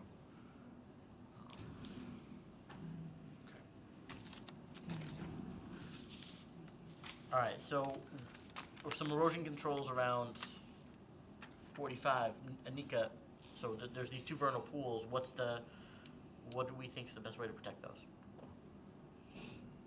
Stay, stay away in the breeding season. Finish, right? I mean, that- that's. Right. I think it's more than just to just, uh, was it the causeway or the dike, whatever the, it's being called? I think it's more than that, I think it's the work in the, in the upland area prior to the vernal pool season. I think that, I don't know what kind of, um, requirements MESA will put on this project. And like I said, it may, may be exempt. But that's, that's separate, right? Presuming it's exempt, what do we want for protections? I think you're, I think, I, yeah, I Is don't know. that it? I, I would, I would, um, I, I would say we'd, we'd want some vigilance out there if, um, y- y- you know, if the project, if the project is progressing up to that migration s- point and we're seeing evidence of migration, I think you have to be done And- by March, February, or March one? Yeah, I mean, March we one. just pick a date, February, not knowing what. the end of February. For what reason? Is the Vernal pool, of frozen? the vernal pool season. I think we just need to pick a date. I mean, know, knowing that we can't, I'm just saying, isn't we're not gonna pick the perfect date. What's that? Isn't that predicated on frozen ground? Obviously, if the generally that's- Frozen solid, the ground's frozen solid, nothing's gonna move it around. You'd be surprised. Pardon? Some, so it doesn't always happen that way. I, you know, depending on how the season. Well, but I, I'm, I'm just assuming if water's frozen, it's frozen, they're not gonna do anything in it. Maybe on it. It could be mostly frozen, partially unfrozen, and there could still be some level of activity. Okay, I'm not, I, I, and I'm not trying to, I'm just saying, what, what if we have a cold winter and it's, it's still frozen solid in April, I'm just. What if we have a hot winter and And it's it could thawing be- in the problem February is it could be- first? I mean, and- it- and it could be Well- we're thawed trying, out in we're trying to February. find the best get, we're Yeah, finding that's We're, what we're, we're saying. trying to pick something without knowing, but Yeah. maybe when we get close to that March date, if it's looking like we're in a deep, deep freeze, you know, and you need an extension at around March first, why don't we revisit it at that point? What would happen if they're out there? Half done. I mean, I, I think we're saying, I mean, I think we're saying as part of this, the contract documents, we want it, in our decision, it's gonna have some contingency that they, it needs to be done by this certain date. That's, it, Or postponed until, uh, until the vernal pool season, well, when's the vernal pool season end? It's the end of April, right? We have to wait till the following winter then. And then we're, S- And then we're into the we spring will- rains and then the summer dry. use of that area. So it could be it summer. So I, yeah, there's, there's some funny seasonal issues. Well, there's that first night, and that's Right. when you described what's going on, I was thinking what's happening. Right. Then usually after that, or there's a couple of those, then after that time, there's not so much activity each night or each day. So there's only, but Right, there's an intense two weeks, isn't there? I would, I would say Two to that three weeks? it would be, I- I guess we, we could come up with some, something, but if, if they were exempt, I think the only thing that I would come up with would be to restrict them, um, on, uh, in that March area. But I don't know what date, because we don't know what's gonna happen this winter. So, How about just, how about we just put a date that we revisit it? I mean, I think you know what we're concerned about. Um, you know, and we could just write in a provisional approval to do work until March first. And additional work conditional upon a review at that time. I don't know. We write that in? yeah, I'm sure we could write something up, I, That's the other thing with this, is that this is only in those two vernal pools that are near that dike area. And that's, the only thing that are gonna be coming out there is the rubber tire vehicles, the, uh, ones, the chip trucks and also the log trucks. And you bring twenty of those in and out of there, and you could, you could roll a baby carriage, It's- that road's gonna be that smooth. I'm gonna hold you to that, Dave. I, I'm telling, I'm telling you. Sure you're s- it I'm So I sure you're don't- right. So what we're worried about is the road being inundated with uh, salamanders. And the trucks just rolling over them. Th- that's, so that's not just the vernal pool area, right? They're coming from the upland. Right. Right. They're coming from the area that's actually getting They're work gonna be at- coming work performed. twenty-four hours. They, Hey, so uh, in Framingham, there's a place called uh, uh, something in the woods, Garden in the Woods, and they shut down the road because there's no way to protect them. You have to walk up first night, all that. So, um, it's, it's, it's curious. I, I mean, I wish we knew the answer to, I know, I wish we had this Yeah, area more characterized so we could, yeah, the MESA question is, seems to so be we could know. confusing. Uh, I don't know what they would say and how they would, uh, craft the project, knowing that. Too bad this told you up last February when you were here, because you would have had it all lined out by now. Yeah. So You would have plenty of time to work both sides of the, So, wind up the Can- Jessup Road. Can I, s- I have a question. Um, Is it true that these migrations tend to happen at night, or do they happen during the daytime as well? You know? There, there's, based on what I know, and I'm not, I'm not an expert, I just know enough to talk about it, so, um, my understanding is there is a big surge at night, especially with a full moon, especially with a spring rain. Um, so there, there tends to be kind of like a surge, but there's on, it's ongoing. So, so, It's my, uh, I- I'm no expert either, I just Yeah. Googled it and yeah, it, it- it tends, uh, what I'm seeing more, and this is not yeah. in any way prescriptive, but uh, that it tends to happen at. Now, we need to verify it, if there is ample evidence that that's the case, then there is, that that's a mitigating factor to consider. It definitely works in the favor of the project, uh, cause you guys are not gonna be out there in the middle of the night doing, Right, exactly. doing cutting. But, but it doesn't, s- doesn't mean that there's nothing happening during the day, and, you know, we wanna minimize, avoid damage. And I think we're, you know, we all want to minimize damage, Yeah, we all yeah. want to minimize, Yeah. you know, safety problems. It's my, It's just, you know, I wish there were a perfect world. I wish we could say, we could go in there and just magically lift all That'd these be trees up and have everything great. Do you know the Unfortunately, UFO? Yeah. we, you know, Yeah. so, Yeah. we're gonna have to make some tough decisions. I can I think. just ask a question, because we're, we're, we're kind of going in circles here, I want to try to, if we said February twenty-eighth, understanding, we don't know, the but if we said February twenty-eighth, is that gonna hamstring your contract? Is that gonna put you guys in a position where you don't think the contractor would be able to be done by then? It- It's all gonna depend on how quickly we can get the bids in, get it awarded, get the contracts prepared. It's gonna be very tight, Yeah. and we don't wanna wait another year. You don't even wanna wait another month. Because I a don't month, you to because, wait a- another um, month. because I in want some you to ways, a start month now. means a year. You Yeah. know, if we miss this window, It's you've not gonna already happen. got contractors that have come in and, and looked this over. we've had a couple have Commit- come in to look at it. Um, the- Our forester has been in touch with a number of them to, you know, get to probe their interest. So they seem to be interested. So when the forester characterized uh, this area in the forest cutting plan, did, did, I don't think I saw it, but did you, Anika, did you see that they mentioned the vernal pools? I didn't see a mention of the vernal pools, but I didn't read, um, really meticulously the forest cutting plan.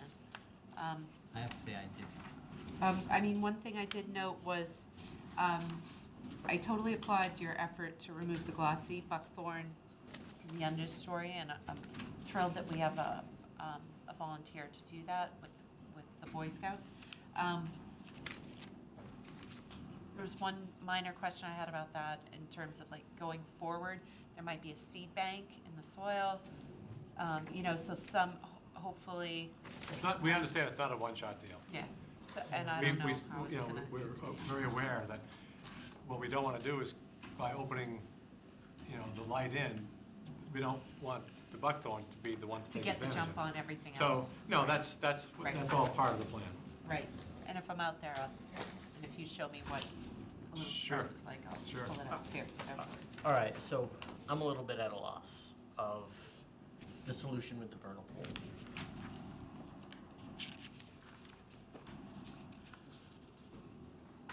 I mean, I think we have to understand if the contract can be done by February twenty-eighth or not. I was doing a little research on the phone while you Yeah. were talking. They didn't list Reading, but listed Lexington, I figure that's close enough. And their average days are March 9th is an early day, and January, I mean, April fifteenth, fourteenth is a late day for when they start the migrations. I think we saw something on here around, it was like March sixteenth. Yeah, So so- I, I, it's, If you wanna set a date, that first week of March may happen to the date that you set. Yeah, well, we're talking March one, you know, March Because one, it's March just- nine, it's it's just in there. this- I'll take March It looks 9. like there's no other way around that. Yes. Even though April, February twenty-eighth, March, one- March one sounds so much better when it's in a bid than April, Yeah. February twenty-eighth. Yeah. Um, March It's 9th Monday, but it sounds, March sounds- 9th sounds very nice with the option that we could come back to this board if we needed to extend it Yeah. by a few days. Well, I think, And if we have a Like- stretch to the end of February where it's tw- uh, fifteen degrees out for three weeks, maybe we can extend it to the next. right, So I, I guess I would, I, I would just work on Friday. I, I set end dates for Fridays. I would propose a March sixth. I think that's earlier than everything we've seen so far. It gives time to at least extend past. Uh, we have a commission meeting on the twenty-eighth of February. Is that, did I say that right? and the, No. so the eleventh of March would probably be a meeting date. Yeah, but I don't wanna And wait till that then- meeting date, right? They- The- Right, and the We won't know the twenty-sixth, forecast by the the 28th. twenty-sixth would be. The twenty-sixth, sorry, Would be thank a you. meeting date. So, the, the issue with the twenty-eighth is also, they're coming before us on the twenty-sixth with Uh-huh. very little time frame. So I think if we said the sixth, that would give the opportunity that if this had, you know, to relook at the condition, that it could come before the commission on that, that meeting on the twenty-sixth, and gives a, a week and a half for everybody to react, essentially. And then, uh, we're making notes here. Is that But what? the, what is the organization called, approval? That's, Oh, that's they have to- contingent. I mean, yeah. that, that is. I, I, I'm, Natural heritage. Step one. Um, yeah, That's step the one first is hurdle. all of this is contingent on that, this MESA, exemption from this MESA review. Um, Or uh, their review. Or, So- or, or their complete review, true. Um, And since the other thing that Forrester told me was that, that uh, he stayed away from the steepest banks that go down into the wetlands. So if, I mean, I know we talked about doing something around Area 45, but you know, if the ground is really frozen and we're not getting to that steepest part of the bank, do we need to put erosion control there? Yeah, I, don't think, I think the places where erosion control would be needed in Area forty-five are basically the areas, um, to me, it seems like two particular, two particular zones. You know, the part over here next to the wetland and the part over here next to the wetland. Okay. So I don't think we're talking more than a hundred foot. zones have It might numbers? just be like two hundred foot stretches or. Okay. I don't think we're What's the talking numbers more near than. those? So that's air, that's, um, stand forty-five. Um, and there are two.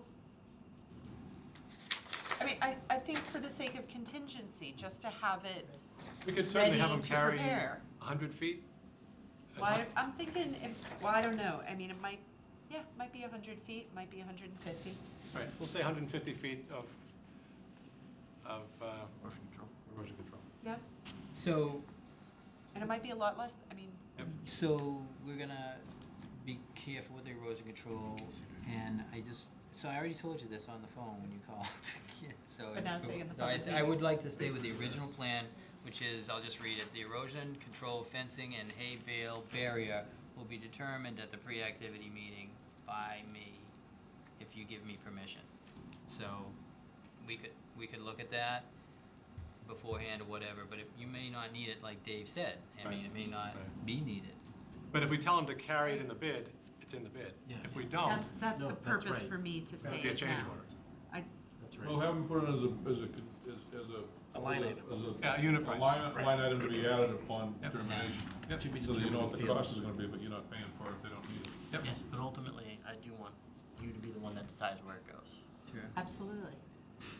Chuck and Chuck. And I think Chuck should be responsible. 'Cause I trust you, Chuck. That's right. Appreciate that. I just, I just wanna blame you. Trust you. Lot of time. That's fine, that's no problem. Lot You're the from man, you're the man, Chuck. Alright, Okay. any, Any, any other items? So we just, I just, the only thing I really did is just change, this is a winter project, must be completed by March sixth, two thousand twenty. If the project is delayed and not completed by March sixth, the deadline, the applicant must return to the Conservation Commission. But what if we don't have a meeting? Is it Conservation Commission, get the approval from the Conservation Commission administrator? Do you wanna do that? You want, you guys wanna talk about it? So that's where you stopped, you know, is it going to the next meeting? No, it can't. I think it- by going to the next meeting, you might be outside your date range. What do you mean by next, next meeting? Is The- March sixth a meeting date? Mar- The meeting No. before that would be the tw- February No, twenty-sixth. Chuck's saying if we don't have that meeting. If they wanna continue it there's a on the March or sixth, something, we're The next meeting's the Uh, eleventh. so they have to wait. Oh, I was thinking that they need to be in front of us on February twenty-sixth to ask for that extension, that, that they need to understand where their schedule is by that February twenty-sixth. See if they can project it, Certainly, it's I fine would with me. think they Yeah. could, That's a week and a however, half. you- are you confident that that's gonna be a good enough? Is it You're gonna be too much of a window? It's a week Something and a half. happening dramatically with a weather warming trend or something, or you just, you good with it? I mean, I think it's fine. I I'm think good with it's March sixth. It seems like that's a safe area to, to pull the. Just remember, no one ever can figure out what night first night's on. I know. Um, The head salamander knows. Yeah, yeah, he does. Except that it's at night. I'm sure it will be done before March sixth. You know, I- I'm gonna have confidence that they're gonna get this bid together and it'll be February done. twenty-eighth, we're gonna be done. You know, I think if the project's not done by March sixth, then we, then I'd like them- we The need to, s- we need man, to he revisit. takes, he takes a long So- time to so, get things out. Chuck, this is, this is what I would like. I, I would like them, if it looks like it's going to extend past March sixth, before our meeting, you know, I would like them to come before us, before our meeting on the twenty-sixth, February twenty-sixth. If at that time, we, we think, well, it's, we're cutting it close or day-to-day, maybe at that point we decide, you know what, Chuck? You've got a good grasp on the weather in the next week and a half. It can be an administrative decision from there, that point on. What about a start? But, but at least February twenty-sixth allows this commission to revisit it. Start date, like if you're not out there by. As soon as possible. Actually have- As Well, I soon know, as they but can I'm get saying if you're not out there by February twelfth, there's no I actually have our meeting as the twenty-seventh, If it's, on the Thursday. why would We're I gonna need to know on way Thursday? before, I don't know. we, we'll know way before March twenty-sixth if we're gonna hit March. February twenty-sixth, February yeah. twenty-sixth if we're gonna hit If, if, March. if Is it twenty-six or twenty-seven? twenty-sixth is a Wednesday. Twenty-seventh is a It's Thursday. the twenty-seventh. Twenty-seventh is a Thursday. All right. Right. If it's gonna take six days, maybe, of intense day, day in, day out work. That's a maximum of, you know, week, week and a half with mowing and demobbing. Just try to have another rubber And. Okay. All right. and they'll, All right. they'll drive in once. Any other mow, comments? And they'll drive out once, Yeah, demo, so, and then it's just the, the chipping.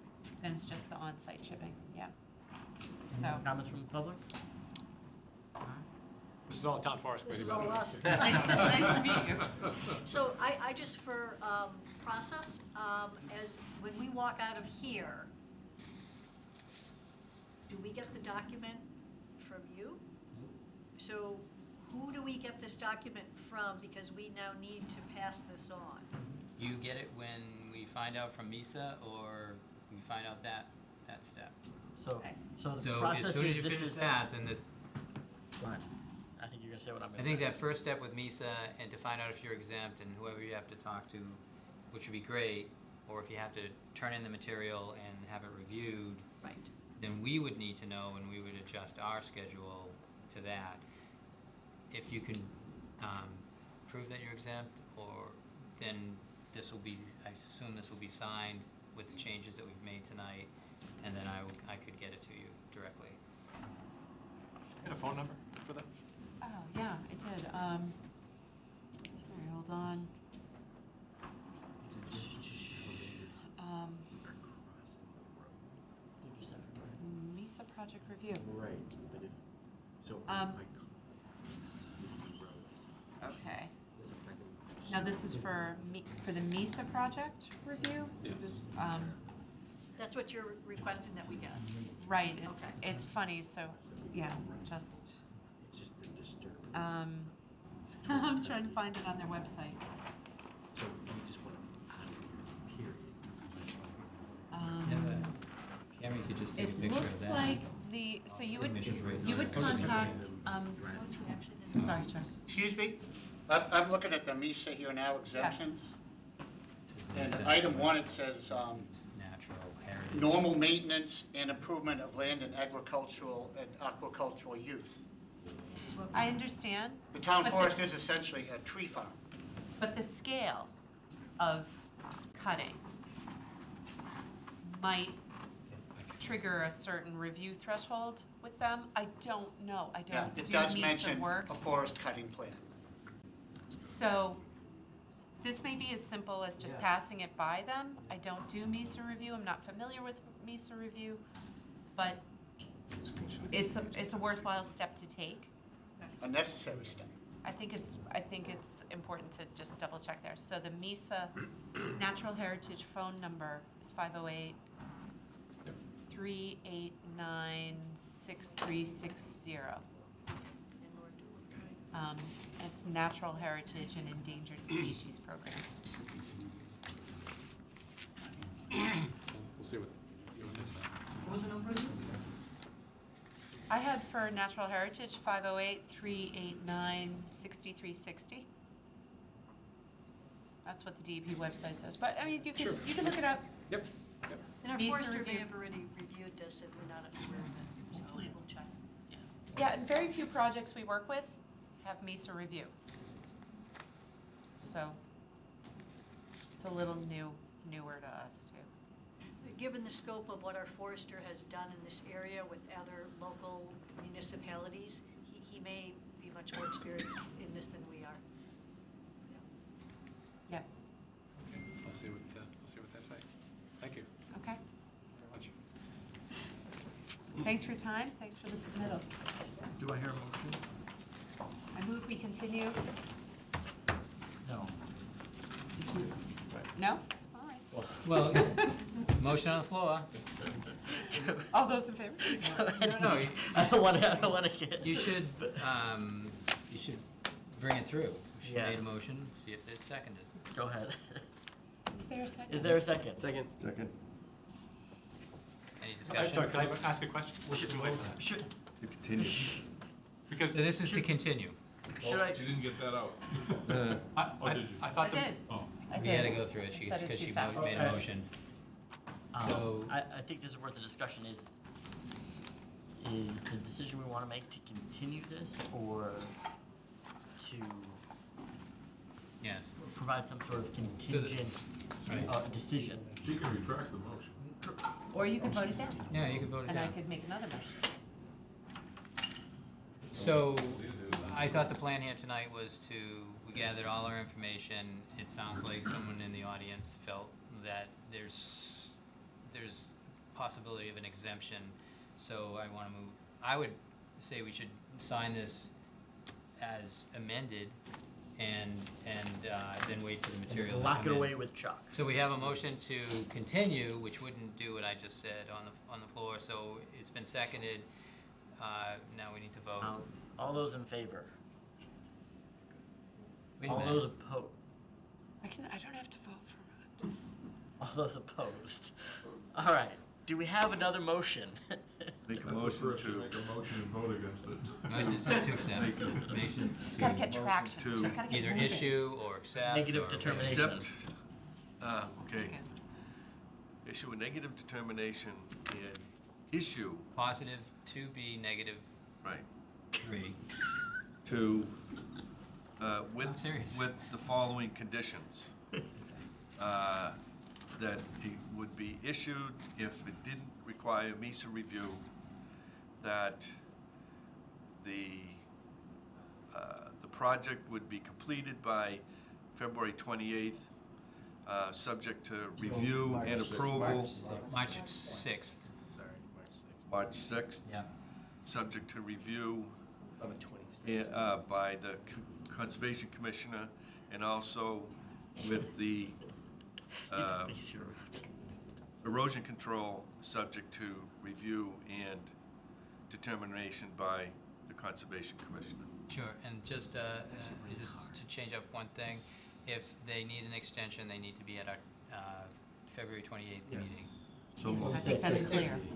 Twenty-six. 26. Thank you all. It gets late, we start, I'll second Dave's motion. That sound right? Second, oh, you second. Sounds really. This- Well, I don't, I don't want them to have to keep on coming back. All, all those, You know. all those in favor? Motions like that, nobody would come back. I'm glad Thank Dave, you. I'm glad Dave did it, that's hard. Dave, you did great. Appreciate that. Well, that, that'll give you the opportunity to seek bids. You know, and if they, they, Absolutely. they can meet your timeline, they can meet your timeline. If they can't meet your timeline, then you know, we're gonna be put off for another year. And then you can know what's gonna be. Then you have Really dead additional trees. time to work on. summer. Just wanna say, Tom Gardner, No. Just being very congratulations on. Josh's induction. Kicks me every time, every time I am. What, I missed that. What, what did Tom do now? Nothing, it was his son. His son was inducted into the Red- uh, Reading High School Hall of Fame for wrestling. All right, Tom. Congratulations. Tom's, Tom's son was a, a stud on the Reading High School wrestling team. Uh, Well, I, I, well, I've seen his father drive nails, so I'm not, I'm not surprised. Tom, chip off the old block. Just, just in case you didn't know that. Mike. Thank you, Thank thank you you. everyone from the forest committee coming out. Yes, thank you very much. Oh, we should take I don't advantage of them being here, want- talk to them about Hazel Street, you? When we look at the project, um, the whole thing, and talk about the whole thing. I'm sorry that I wish mitigation, you would have that's the called better me time. I, and, I didn't think. and not that you knew, but we could have discussed it and then said, oh, let's It's just like, understand I just that. thought about it as we're doing. Oh, yeah, That's yeah, I felt the same way. I'm like, oh my god. The contractor was sitting. No, and I. Yeah, thank you. You know, and- Uh, I'll, I'll make a call. website, MESA, how do you spell? M-E-S-A, check that. So here's, so here's the Oh, like deal, might- Carl, might is work. if, if there's work in a. I'm just gonna call DEP.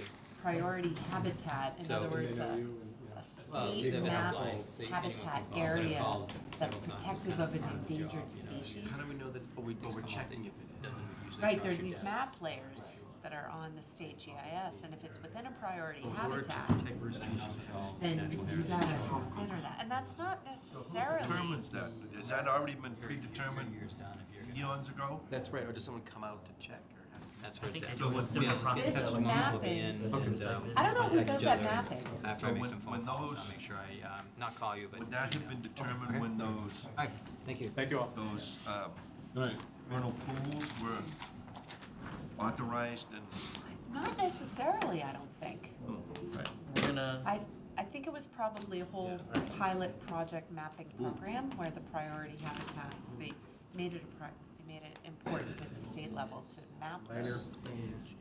alright, we're gonna move on to our agenda item on seven twenty-five, two seventy, zero, seven two three, minor plan change, Austin Prep. we have the Um, You have that in So- front of you, um, and the three items that will be speak, uh, that uh, Chris Huntress will be talking about. Um, you- you need a motion? What? What? plan, He's going to present the plan, the applicant He's will gonna present. present it first and then what we'll, the plan changes. Yeah. then we'll vote it. I'm hopeful I will significantly shorten your average hearing time this evening. So you wanna, um, just let me know what, uh, we're talking about here and what file number and all that. Introduce it. This is two seventy, zero, seven two three, minor plan change, Austin Prep. For Uh, Austin this Prep is- for the, um, for the The new field field? project, the synthetic turf project. You understand they're proposing to put in a new footing design for the scoreboard. Um, and that footing encroaches on the jurisdictional area. Explain a little bit? Yeah. So, scoreboard, so there's a number of changes that we've made to the plans, and mon- many of them are reductions. What brought us, excuse me, what brought us in front of you this evening is a modification of scoreboard footing um, that became apparent as we submitted for the building permit. The difference between a permitting set and a construction set is typically the difference is the structural engineer stamp on some of the structures for the grandstand footings and things like that. When the, when we came through permitting, we gave you a typical scoreboard foundation footing that we've used on almost every project, which is twenty feet long, three feet wide, and six feet deep. Structural engineer came back after looking at the soils as we were ordering the scoreboard and said, I want it nineteen feet long, six feet wide, and three feet deep. So he wanted it wider shell because of the soils that he saw underneath. So he changed the dimension. Uh, We worked with them a little bit. We went back to them and said, you know, after Chuck raised the concern, you have to have that footing. You know, are you concerned? He said, well, if I turn it back up, I'm gonna wanna extend it longer, and it became more of an impact in that, that way. So, um, what we did was we took his footing and rotated it slightly and pulled it forward so that it was a little bit closer to the, um, to the walkway, really brought it right up to the edge of the walkway. So that we could minimize any of the extension on the backside. It's, you know, if it was three feet and went to six feet, we had a foot and a half by twenty feet in the backside, so thirty square feet, that was gonna be different.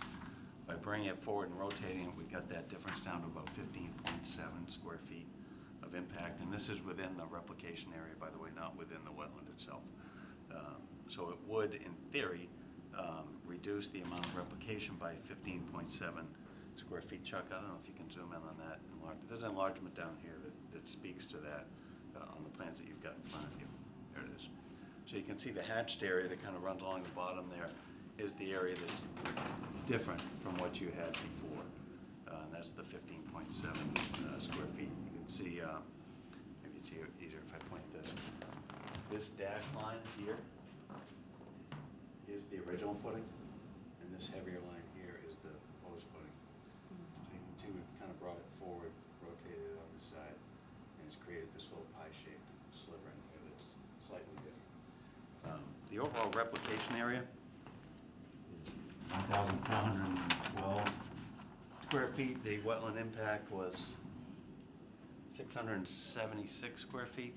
So even with a fifteen square foot reduction, we're still well over the two to one, which I think is what the intent of the original plan was. Um, So we're not proposing any other um, significant modifications, but I'm happy to chat with you about whatever you'd like to do. There are a couple other changes I'd just like to point out before we dive too deep on this. We made um, a significant reduction over in here, you can see it better on that plan. We shortened the tennis courts by 60 feet, um, and that was achieved by not reducing the number of courts, but reducing the distance between courts. Originally, we had 24 feet between the six courts, we went to 12 feet, so we reduced 60 feet. That eliminated 60 feet of asphalt, and 60 feet of retaining wall, in here for about 7,200 square feet. The other minor changes, and really, we put these on the plan, we said if we're coming in front of you to show you one change, we might as well show you everything. The, um, the bullpen and walkways flipped right here. On the original permanent plan, we had the the bullpen on the far side. We wanted to get the bullpen adjacent to the field so that when the pitcher's called out, he doesn't have to come across uh, a walkway where his dad might be standing and be able to uh, chat with him, so we, we brought him right in, and we did the same thing over, over in here. Um, The other reduction, which I should have talked about initially, is we've removed the lights on the tennis court. Um, Austin Prep has decided not to put lights on the tennis court, um, and that they didn't need them. Um, So those are really, those are the bulk of the changes that we've seen. The the only one that really creates an impact that raised Chuck's uh, concern was right down here in the school board. Questions from the commission? No, no lights on the tennis courts? No lights on the tennis courts. Yeah, that's a biggie. Oh, you play, you play tennis? No, one- one of the, the people I used to teach beside, he was the varsity tennis coach, and that was one of the big pluses, any of the schools that they went to that had lights, Yeah. the tennis courts. So, Are they, are they putting the infrastructure in, but just not putting the lights up? No, they've chosen not to put it in. Part of it was a cost-saving measure, but also they didn't feel like their program needed lit tennis courts at night. It'd be It was certainly a discussion that we had with the neighbors as we were going through permitting, not only with you guys, but with planning as well. Um, So they decided to say, take them out altogether. So can I ask, where's the top of the foundation? Is that buried in the permanent condition? Right here? Yeah, Yeah, so, so the so you've got two columns coming out going into concrete foundation. Do we see the top of the concrete? One thing you're gonna see is a two-foot by two-foot square that holds the I-beam that comes down right onto the, the footing. The rest of that, the rest of that concrete footing will be buried twelve inches below grade. So when you say it's impact, so Chuck, I don't know if you could go to that zoomed Impact in area. grade. It's below. Yes.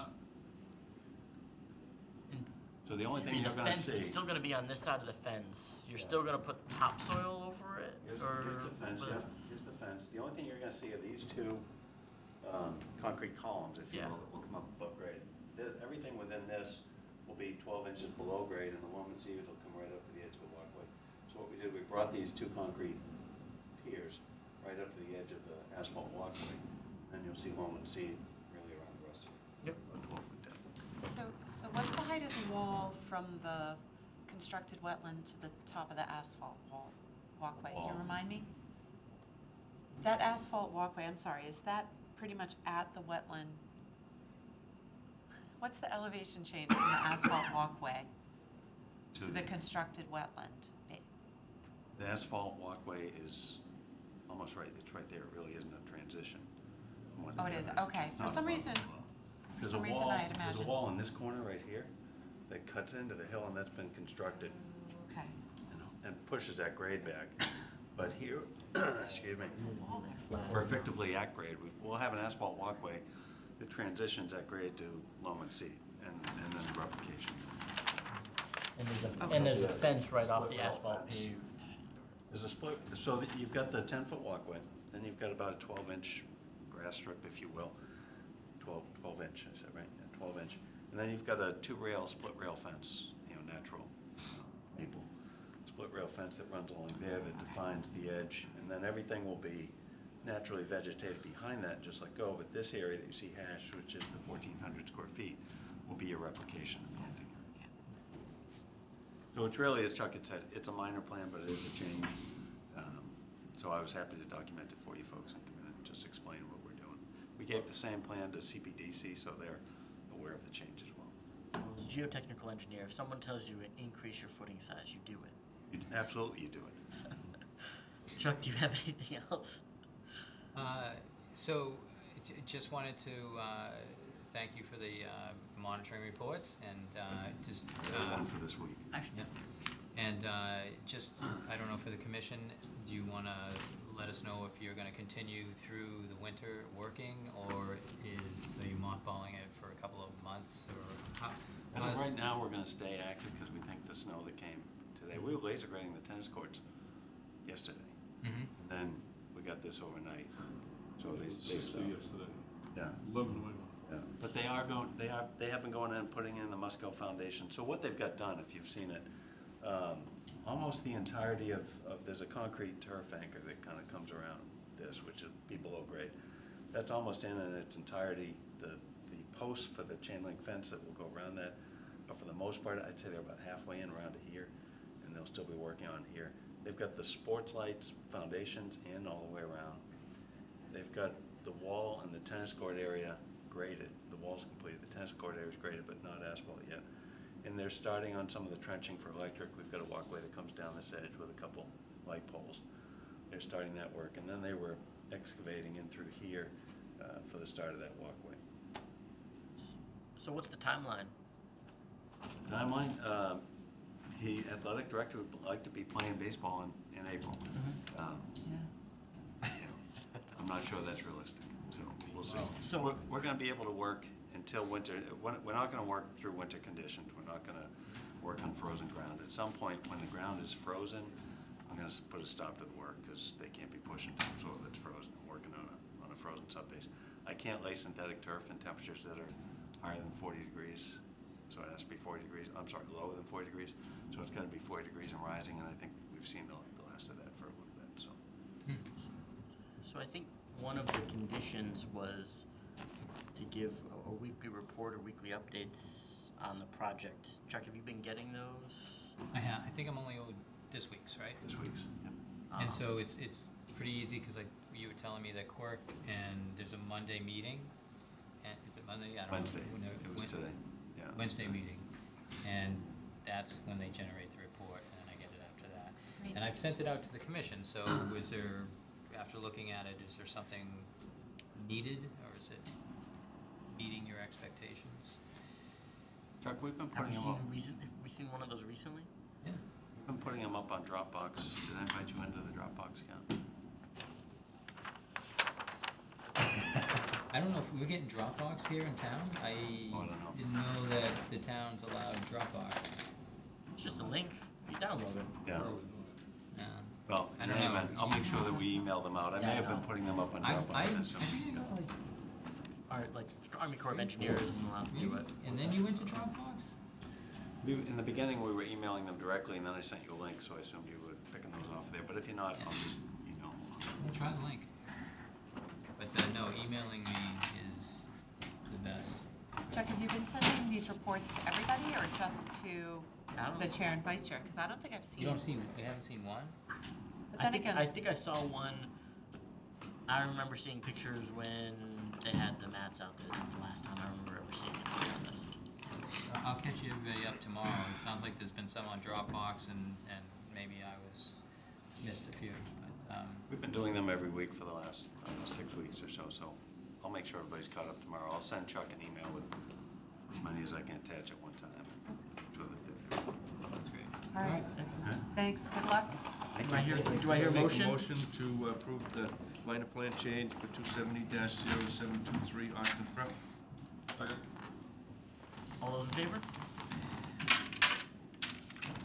Thank you.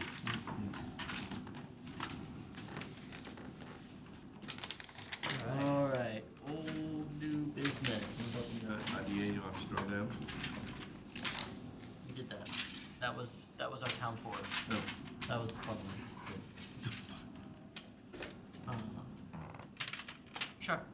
30 Ashley Place. Do you have a?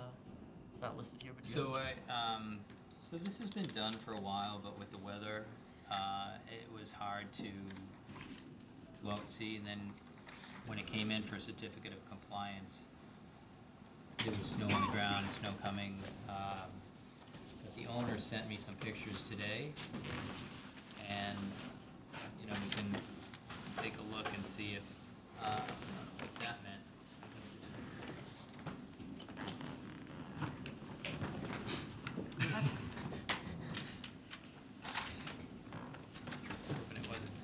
So anyways, here's the pictures. Have a um, good night.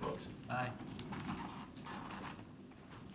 And we're looking at some grass that's established, the erosion control fence still up. You told me this already, but what was this project again? Because we've had a couple in this area. Thirty Ashley Place. I don't know how to tell you what this project is. There was nothing that stood out, other than there was a patio area in the stream and chairs and a kind of a paver or maybe bluestone or something that was in a stream area. We asked that to be removed.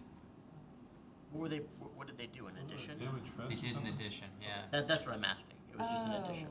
Is this, okay. the one, is So this the here's one with the backyard that has a Here in the culvert back at the here end is of it? This, this stream area, going into a culvert at that point. There was like some chairs and whatnot to Okay. So I haven't been out there, Yep. But the pictures are showing Grass is established. grass. So they did say there's no rush on it, but um, this is what it looks like. Did we require, um, markers, right? There's a marker right there. Oops.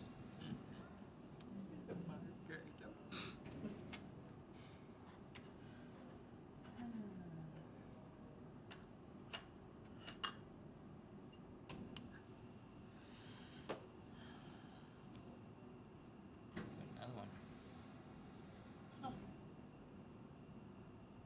Tell me the Wait, address do you see again. the bounds? I thought I saw one. Oh. Which address, Chuck? Uh, 30 Ashley. This is right in the area of like all the tr- the tree properties, right? Like they're all grouped in that same spot. Can I see the bounds on this one? Okay. This yellow Oh, yeah, yeah, yeah, yeah. I remember this. looks familiar, but I can't say that it's a bound for sure. this.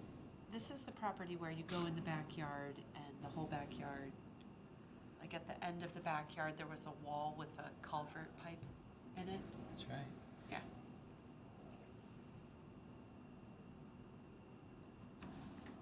That looks pretty good, That actually. looks like a bound right there.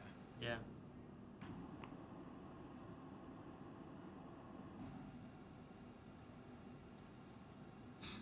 What is, what is I think- stuff? think it was to the right, or left of where you, sorry. It's right there.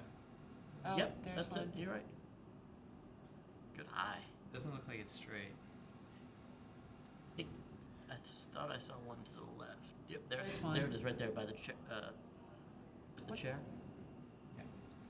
And then there was a couple that, yeah. There's oh, one. There's one right Now there. that we know. Alright, so that's the picture, so the bounds are in. Okay. What's the orange stuff in the backyard there? Every time. Pumpkins? I don't know. Yeah, pumpkins. Yeah, that was a condition Mike had on this project. You have to, you have to compost, compost your pumpkins in the wetlands in the back. I want native pumpkin growth. Yeah. Mike's condition. Okay. I move we issue a certificate of compliance for thirty Ashley Place. Second. Based on the overwhelming photo evidence. All those in favor?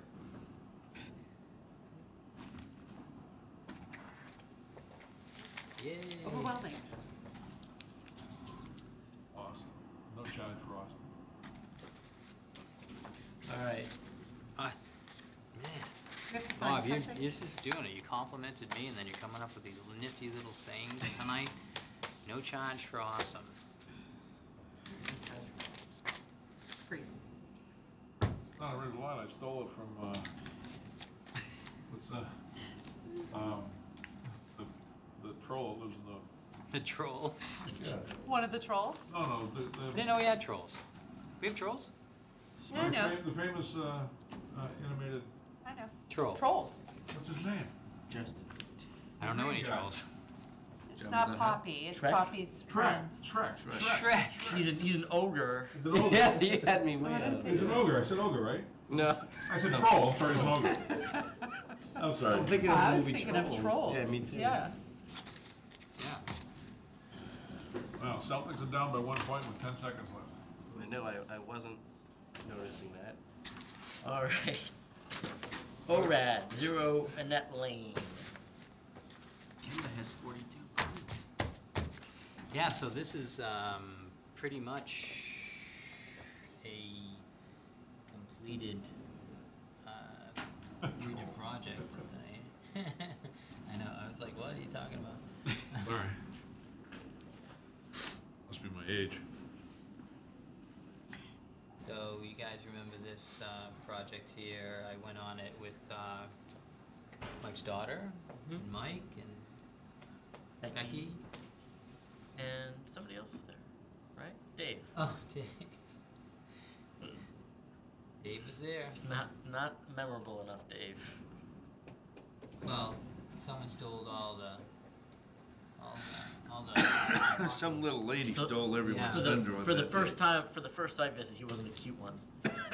For the first time on any site visit, yeah. Dave was having a hard time to get anyone's attention. Sorry, Dave. So.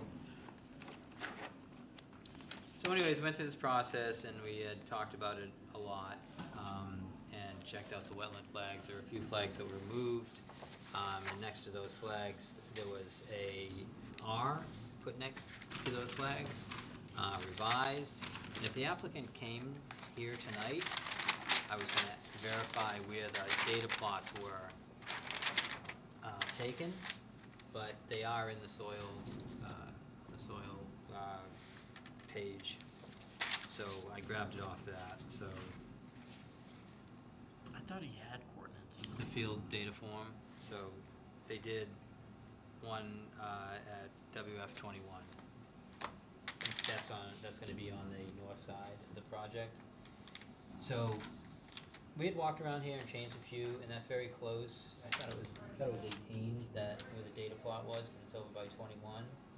But we had changed nineteen, cause it's revised for nineteen R.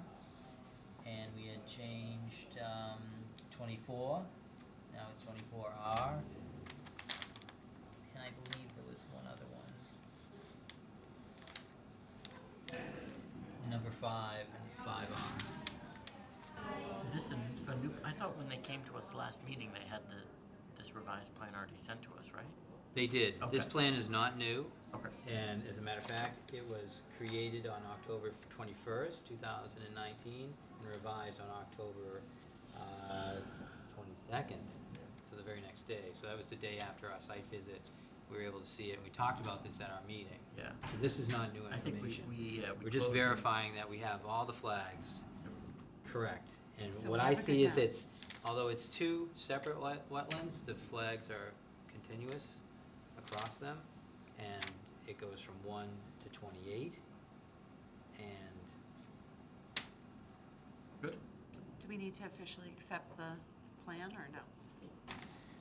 Uh, Good to have a motion to issue. Yeah, so m- I would motion to issue and, and, uh, our motion, we probably closed. Yes, we closed, Yeah. right? We closed. So motion to issue and, uh, accept flags one through twenty-eight as shown on the up- updated plan.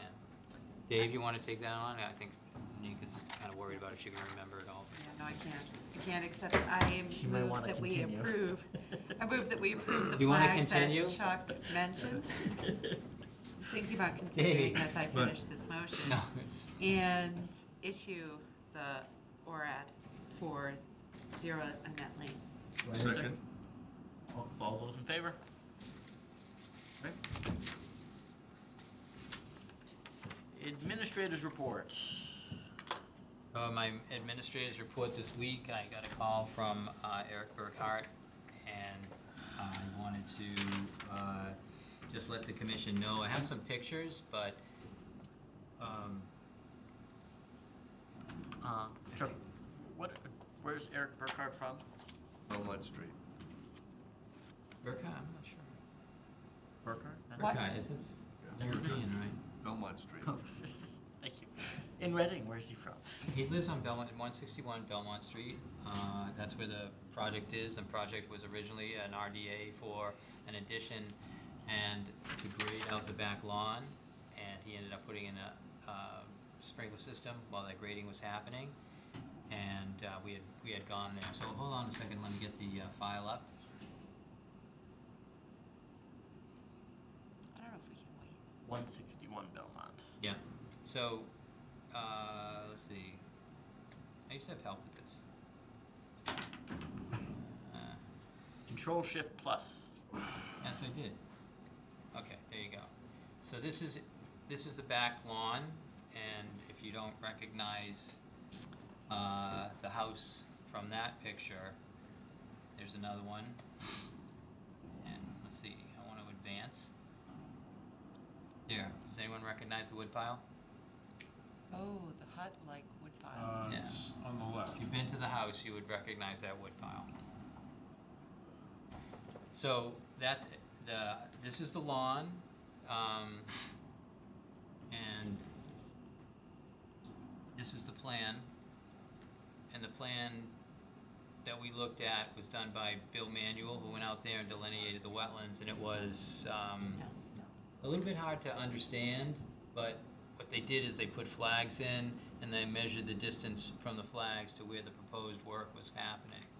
So here's a blow up of the, of the plan that he submitted to, to me, and this area here is the house. This is house, and the fence is going to come off the side of the house. Obviously, this is grassed area. There was a hedge along this area, the wetland starts down here. He wanted to put his fence along this. Here is the uh, shed, and the wetland starts somewhere, like, just at the front, just, just behind it a little bit, somewhere in that area. He's off that area. We typically allow fences right up to the wetland if it's grass and they're not cutting down shrubs or trees.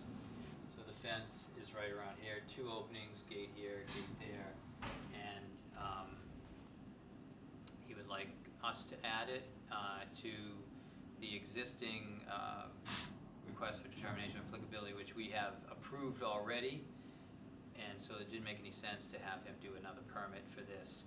I did speak to him on site about this fence, and I've looked at where it's la- uh, laying out, and my recommendation is that we approve this and add it to the, uh, request. Um, If you have any questions, I- I'll Did answer you, them. did you mention to the uh, resident that, you know, that gate that goes between his yard and the, yeah, that back area is, you know, is not for bringing out waste, leaves and sticks and, I did. Why else would it be there? Just kidding. So I did uh, mention that, but not when we were talking about this gate. So when he was grading out the back lawn, they had like a small something or other there. Uh, maybe it was a bobcat, and there was a pile in this area here, and a pile down along this area here. I asked him to remove them, and he did that. But those were, they, to me, they looked, there was some new stuff on it, but for the most part, it was historic. So it, he didn't strike me as someone that was actually throwing his own stuff out. Um, He's cutting it up, stacking it up in Hudson. I will Lighting send him on an fire. email and remind him of that tomorrow, just so that is definitely taken care of. But I, I don't think that that's what's happening on this site. Uh, like I said, that site, that area seemed to be historic. Yeah, He did say he wanted to set up a fenced-in compost area back there, which is fine. it's yeah. fine. I don't have a problem with the fence. Don't either. They What do you got? They just got. Nothing, I had no problem with. They just got. Charge for what? New puppy. No charge for us, and baby. No charge for awesome, right here. Yeah. No charge for awesome. Going once? Going once? Okay. Oh, wait a minute, I'm on the wrong picture, sorry. And if Eric, you're watching, I apologize, but I have to do this. How about that wood pile? Bob, I thought it was on the left. Is can I that- get a no charge?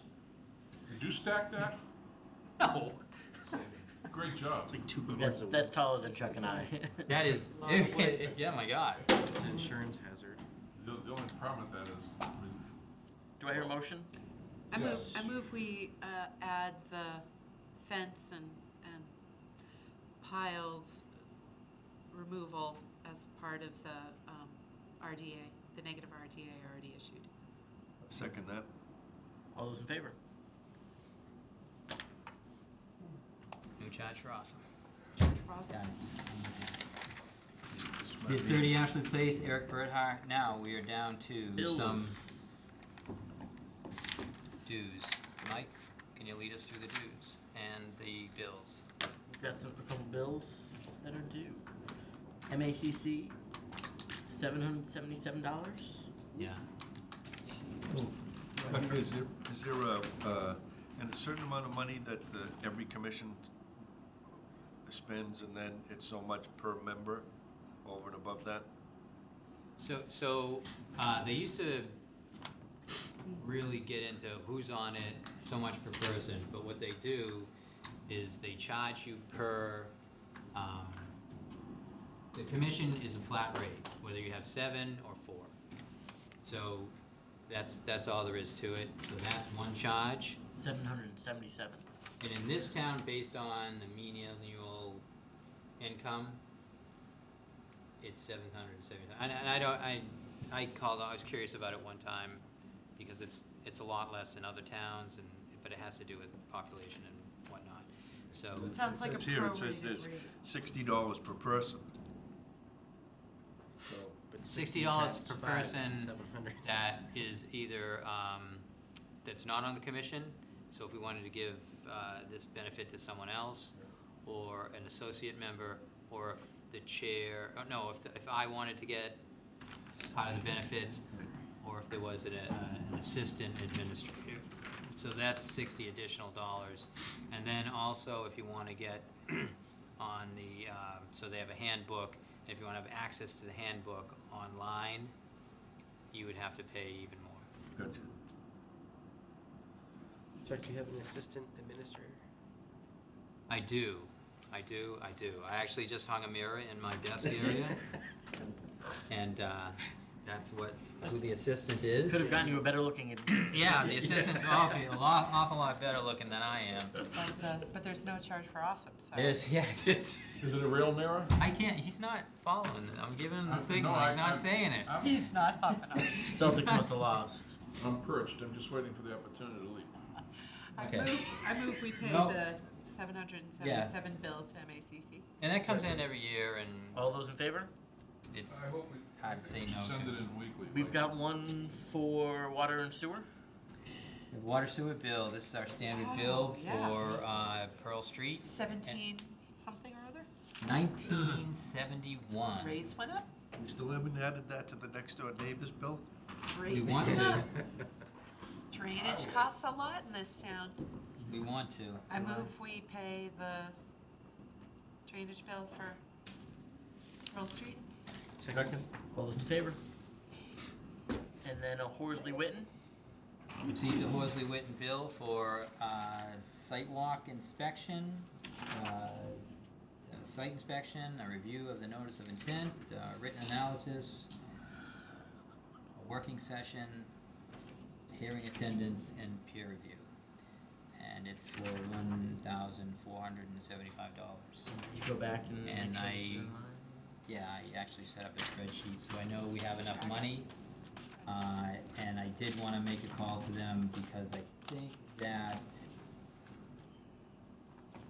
the, the review of the notice of intent was on our first, our first bill, so I wanted to ask them about that again, so. Pending Chuck's review, I, I move we pay the invoice for Horsley Witten. Second? All those in favor? Chuck, One just out of thousand curiosity, four hundred and seventy-five dollars. Are they done with scope at this point? Nope, they're in the Okay. process of talking to, so, The engineer, Ryan. yeah, When, what's when are his we? name, uh, Brian Street, Streets. Andy Street was here Andy tonight. Street, sorry. And um, he, before the meeting, he told me that they're hoping to get to our January eighth meeting, but they may not. And um, If- the, if- the holdup might have been our, our engineering needs to be after Horsley and Witten finalize with them. And they're gonna develop a plan, put it together, run it past, you know, Ryan and the, the engineering team here in town hall. And then there may be additional tweaks that's needed. Although I did talk to Ryan and he was, uh, he, he liked the review from Horsley Witten, he said it was very thorough, didn't think you would have too much more to add to it, they had really picked up a lot. They did. So, uh, Well, I hope, I hope we're gonna Janet get, Bernardo, uh, did the review, she's done it, she does it for many towns. I hope, I hope we get those, that report from them well in advance of the meeting, so we have a chance to really look at it thoroughly before the January eighth meeting. Well, so Continue. customarily, Or well, actually not continue. even, it's not even a custom, it's in the regulations that it has to be five days prior to the meeting. Doesn't So- stop most people from just showing up and handing it. Right, because Does anybody I else know. know that? once they're here, I'm not in charge, you guys are. I know. Okay, and if you wanna ex- not accept it, don't, you know, be like Putin when they were trying to hand him the summons there, he was like, mm, just put it on the table. And, and last meeting, we didn't, you know, they wanted to update us, but we didn't really. Yeah, you need to, yeah, like I said, I'm not, I'm not stopping him here at the meeting, it's, that's your, you know, Call it. I'm your administrator, when they call, I know what the rules are, it's not here in time. Sometimes there's an extenuating circumstance, and I'll ask Mike or Becky what to do, but, I mean, that's, that's pretty smooth, but in the, in the meeting, if it's not enough time, I, I wouldn't even get into it, because it seems like that's hard to stop, once you start talking about some new piece of material. All right, so that was three bills. That's uh as many as we can handle. I know, there's never been three bills. Minutes for approval. Chuck, I looked at the minutes and the only, they looked fine except, um, except, um, just a little point here is that you'd update us on twenty-six Mile Post Road. So you want me to update you now on twenty? Yeah, Oh. uh, and otherwise I have no Okay, comments. so I think uh, that I wanted to update the commission on 26 Mile Post Road, just saying that um, I had already told you that I'd gone out there and looked at the site, and there was a trampoline down kind of where we had the quote-unquote 25-foot no disturb area. The no disturb was supposed to be unmowed and left natural, 25-foot natural zone vegetation. And the applicant had a different opinion about mowing around the trees um, than I think was stated in the order of conditions. So uh, with the snow and whatnot, this has really been on the back burner. They're supposed to do a report.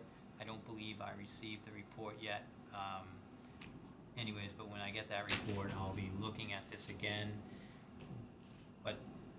But the, a couple of things is to decide whether that's a zone of natural vegetation, which is planted with trees, or is it, are you gonna be able, to allow mowing around each one of these trees? And you, you're gonna need to go out there, someone's gonna need to go out there.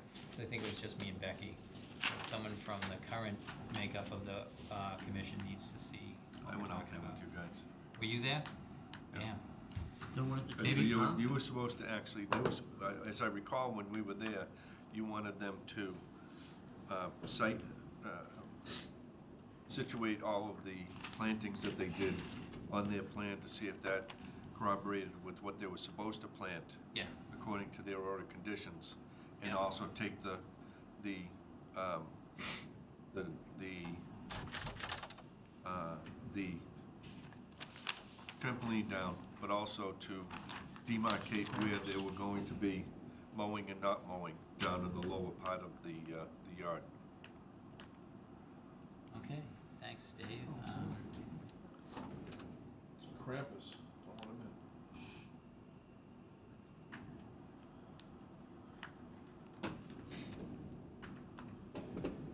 Alright, Did we make a motion? I don't think those need a motion. Minutes? Oh, I thought we were talking about, what we were just talking about. Well, that was, it was, you just wanted an I- update, I right? move we approve the minutes of November 13, 2019. Second? All those in favor?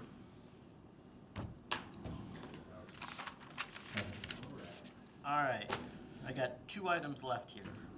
The first one, I emailed Chuck, uh, uh, three weeks ago about a parking situation at Perfectos. Um, there continues to be a Mercedes parked in between the dumpster and the building. Um, I had sent Chuck a, a, a picture, and I mean, since that time, I've seen the same one parked there over and over and over again. I think we've sent the same picture. Um, you know, I, I told Chuck at this point, you know, uh,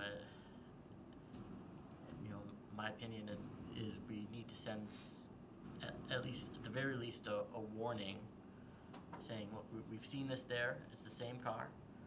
When he came before us, now, there we go. Which is to the left there, right? Yeah. Left. so it's, it's there enough that Google uh, also got it. Um,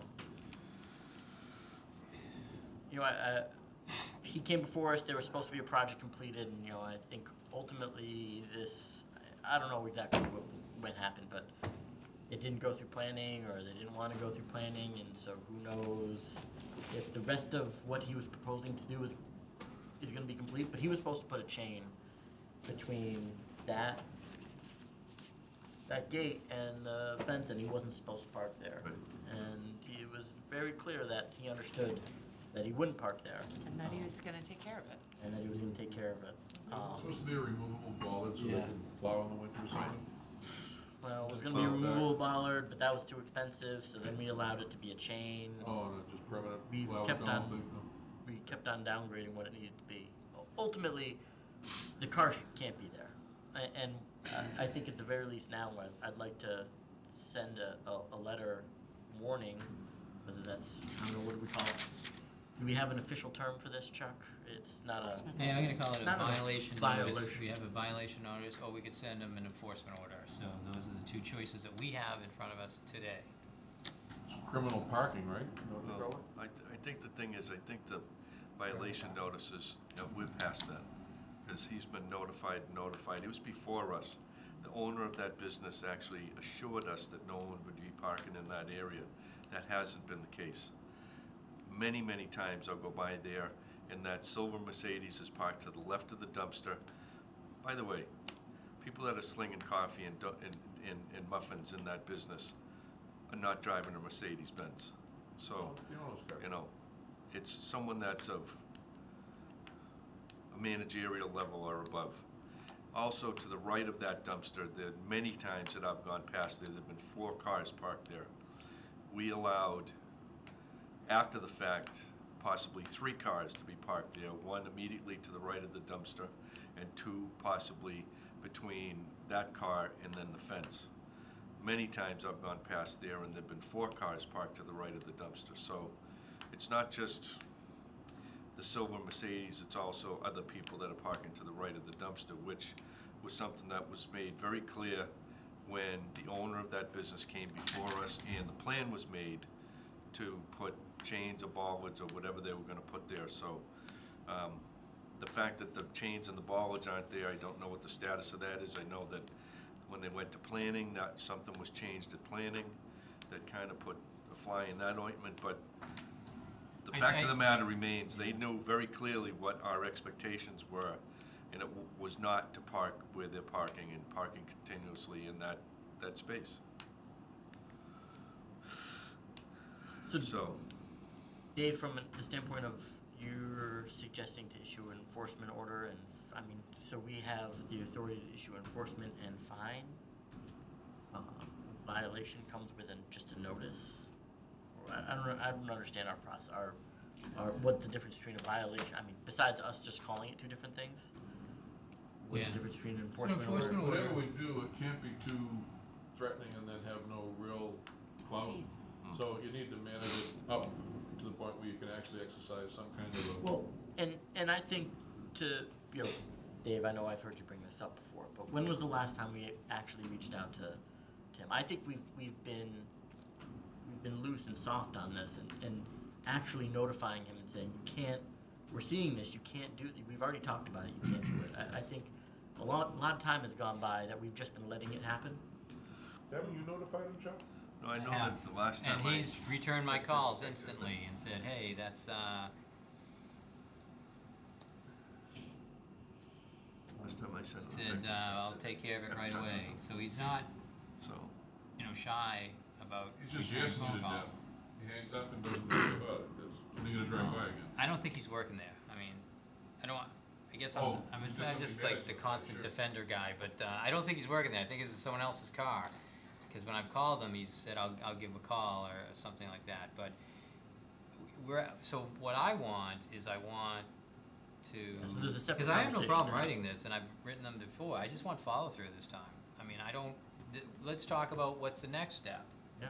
And, Right. and then the final step, and then what if what doesn't happen, you know, Well, and then let's follow through. So, That brings up an interesting point. point, and I guess my question is, are we empowered, not that we're do this, but I mean, we can't just get out there and decide to put a chain on this guy's property between two points, because it's, we, we issued an order and he's not following the order. We have, we have the right to issue violations and fi- warnings and fines for not following that order. and, and that, that's fine, but we, we, we're not, certainly, we have no jurisdictional authority to go in there and actually install something. So all we can do is fine. But that's okay, if we're gonna do that, let's do it. I mean, don't threaten it, if we're gonna, just say even, this is the last verbal, this is the last written warning, if we see the guy down there again, we're gonna send you a fine of X number of dollars. And, uh, and if it's a compounding fine, or, or a daily fine, a weekly, monthly fine, Keep on scrolling down, Chuck. yeah, I don't know. So, so, See this thing with three hundred dollars right here, Yeah, but we have like a table similar to, each day of the violation. But we can, th- this we can fine schedule. provide with the enforcement order, every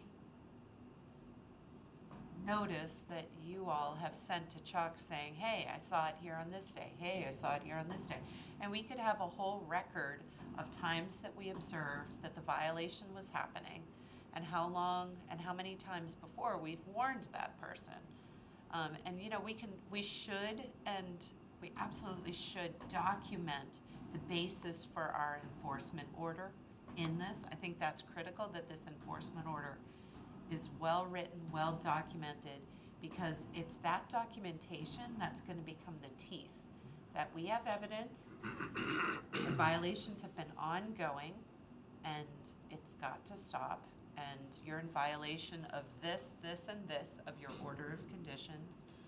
And we have the authority to impose fines starting on this date unless the, the action stops. So we do need to really document this especially. If we want a result, and if we want to take this to a next step of collecting fines, because that is the next step, if it continues. Can I, can I ask a question? Not to be contentious, but my question is, we already have the basis for the action, correct?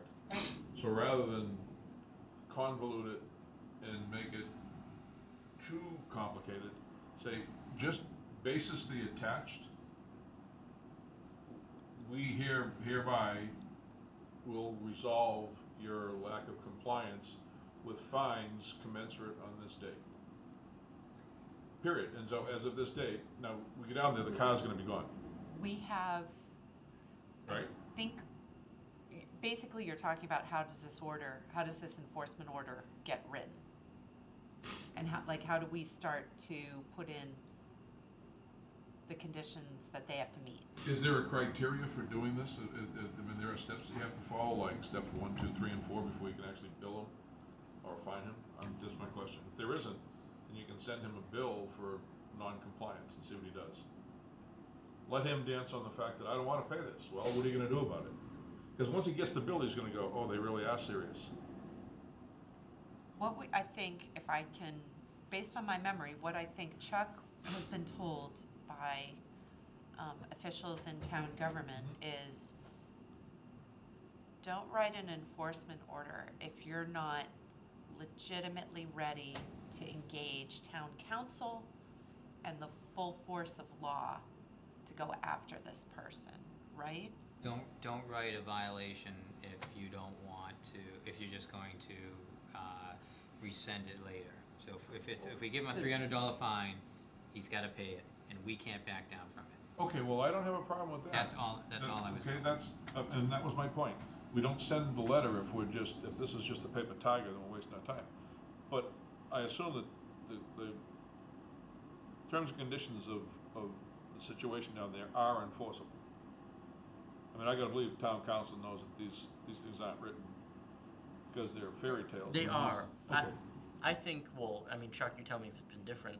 I- I think to this point, we've been, i- it's been a, a, a friendly discussion of some, somebody points it out, and Chuck gives him a call, and he calls back. I don't know that we've ever sent an official, you're not gonna, like, get it out of here. You- Like, I, I don't think we've ever, I don't know, to have, Well, I guess what I was, what I was trying to make sure I was comfortable with, Mike, and again, we have the gun, so if we pull the trigger, are we just shooting blanks, or do we have actual, I mean, this is an actual document that we can enforce, it's is a bylaw. backed up by town counsel.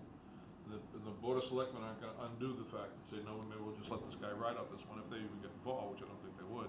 You know, I mean, if this is enforceable, and, you know, we, we send in one more letter and say, you know, up to this point, we have, the- we, we like Anika says, if we, if we document the fact that we know he's done this, somebody's parked there on numerous occasions, and say this stops now, period.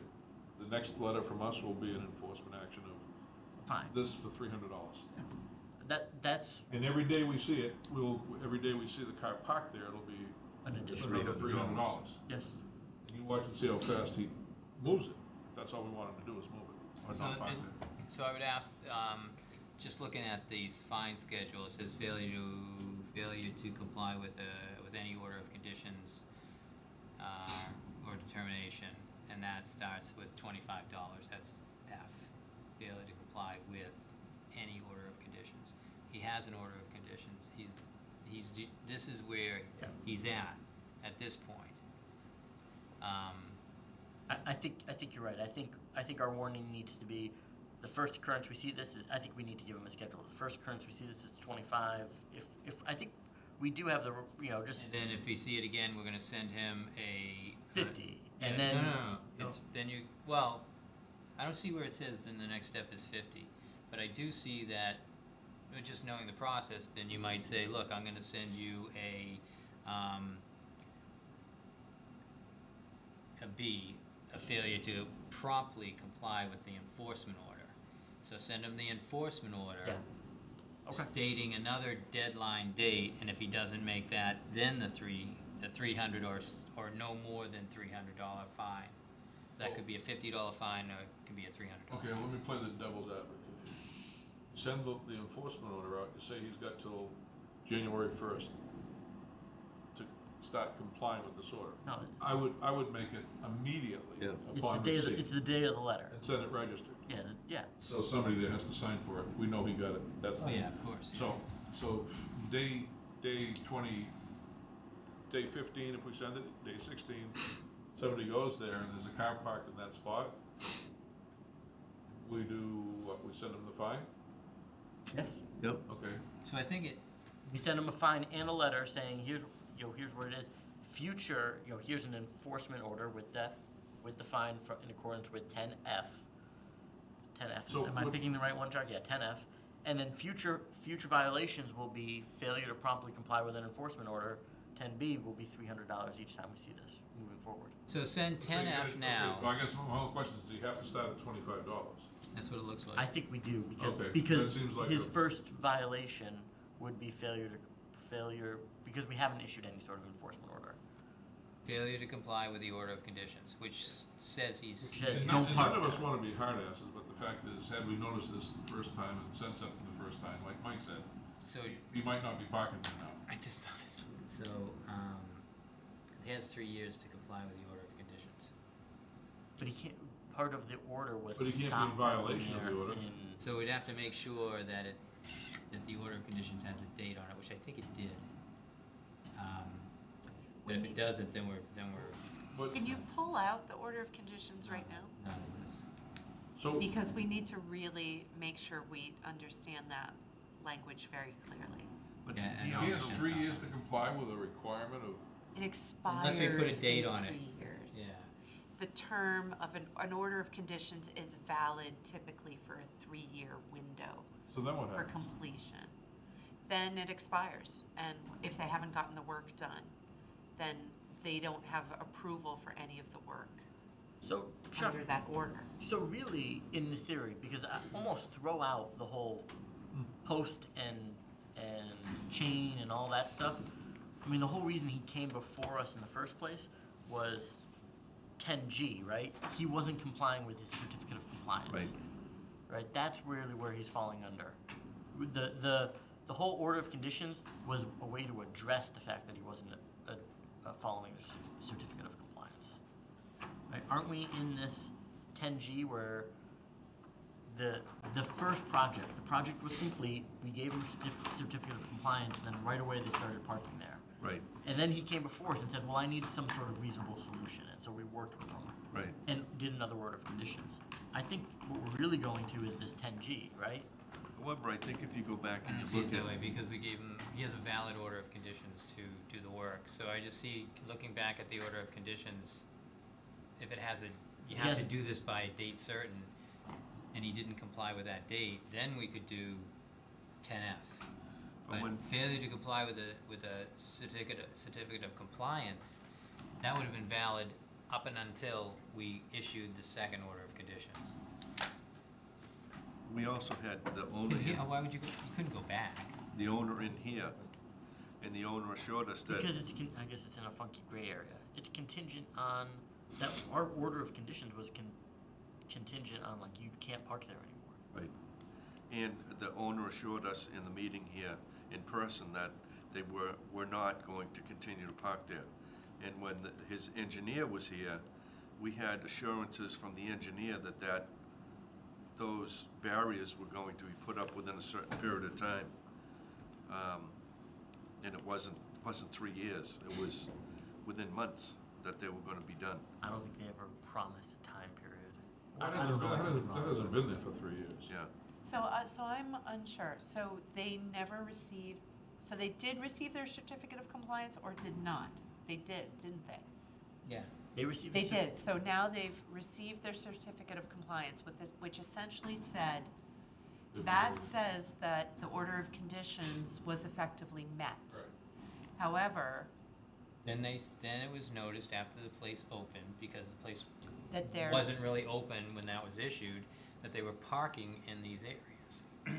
So th- now they're in. Contacted him a bunch of times, and the solution to that was he was going to get another order of conditions to allow parking in certain areas and block off certain areas along with s- snow plow, snow removal. So there's an open order of conditions? Yes. Okay.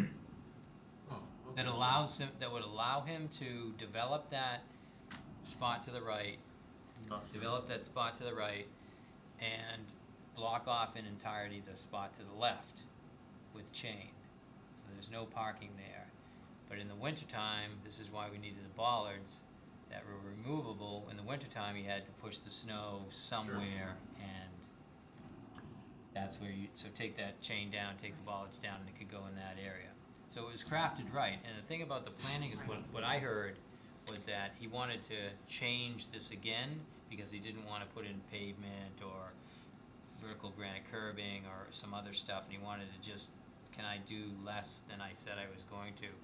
But in this town, you need, uh, you need to, I guess, I guess he would have to go back and get permission to do less. So essentially, I think Mike's right, they're in violation of their certificate of compliance. Because they've already received, they, at one point in the history, they met the, they met this. We gave them a certificate of compliance, What which said, mean, which said that they had met the conditions of the order. And now it's effectively closed, like the order, like there's no outstanding issues that we have to deal with, there's no I agree up to that lingering. point, yeah. But And the so orders- now we're past that, and so it's a violation, it's a failure. It's a B. And Oh. You send an enforcement order, it's, it's a new, it It's a new stands on its enforcement own. order. Except, But they're in But I don't- I violation of don't- the original conditions. Right. uh, what I, why I don't Conditions agree are in is because perpetuity. we ha, he has an order of conditions to do this job that is open for three years. But so I see that order of conditions similar to, if, if we issued an enforcement, or if we had issued an enforcement order, generally the process is you come in and, right, you, you close out the enforcement and then you do a, oh, do a new order of conditions. We very generously just didn't give that enforcement order, he just came in and gave a new order of conditions of what the solution to the problem would be. Fine, but you can't go back, you can't re, you can't, Well, that's still, that, that original certificate of compliance is still part of the, the planting that's shown there That's- is still part of the requirement. that's closed out. You can't go back into that. So, so it could be F, Can I ask a though. question? I'm con- Now you've lost me. We had an order of conditions. To, He- to he build, lived up to the build the letter of law. project. Is He he lived up to the letter of the because he has conditions, right? Right. We gave a certificate of compliance. And that's gone. But He's all of the complying requirements with that the were in that existing original order. order still No, have to no, be there was no complied with. requirement not to park next to the dumpster. We didn't even know that was gonna happen. Oh, that was not in the original order No, of conditions? but, th- but there, I mean, what, what did it say?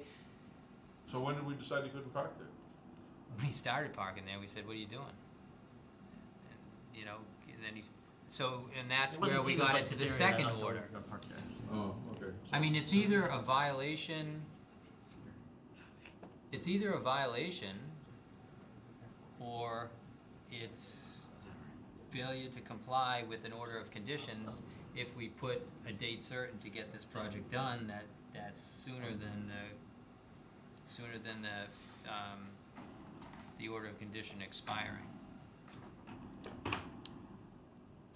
I don't, I don't know how you can go back to the original one, especially when there's something in front of it, you know, like it's blocking you, cause you, s- one says. But I think we're like in One says you between. can't work in the twenty-five foot zone and the thirty, and you can't do structures in the thirty-five foot zone, but that one's been closed out, and a new one says, yeah, you can, and these are the things that we're gonna allow.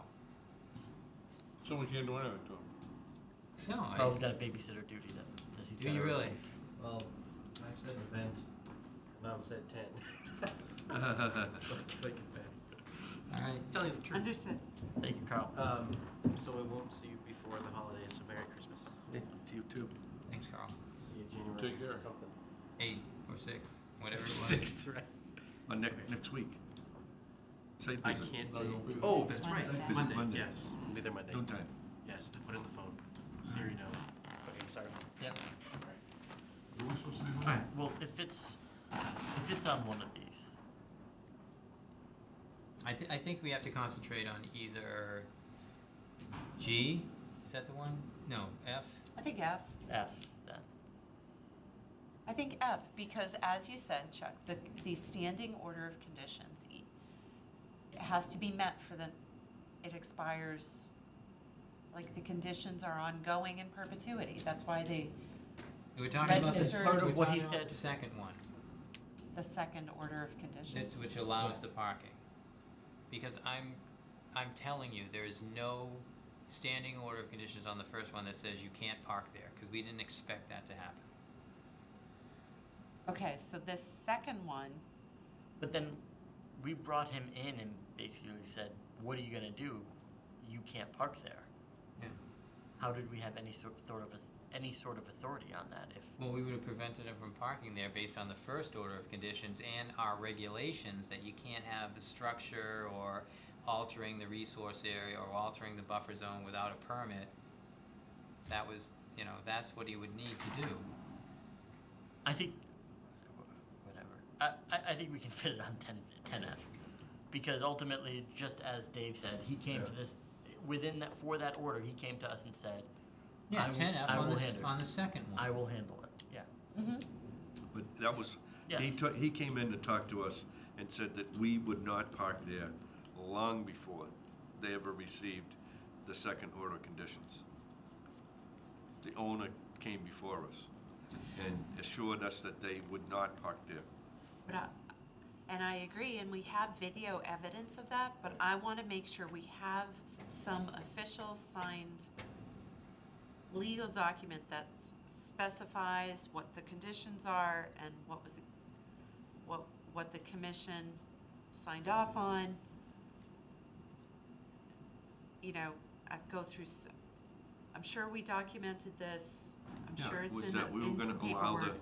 We were not gonna allow any parking to the left side of the dumpster, and then there was gonna be three spaces that were gonna be allowed to be parked on, um, to the right of the dumpster. Um, and the, the chain would allow, be allowed to be taken down after November first Yeah. for snow storage. So failure to comply, I just feel like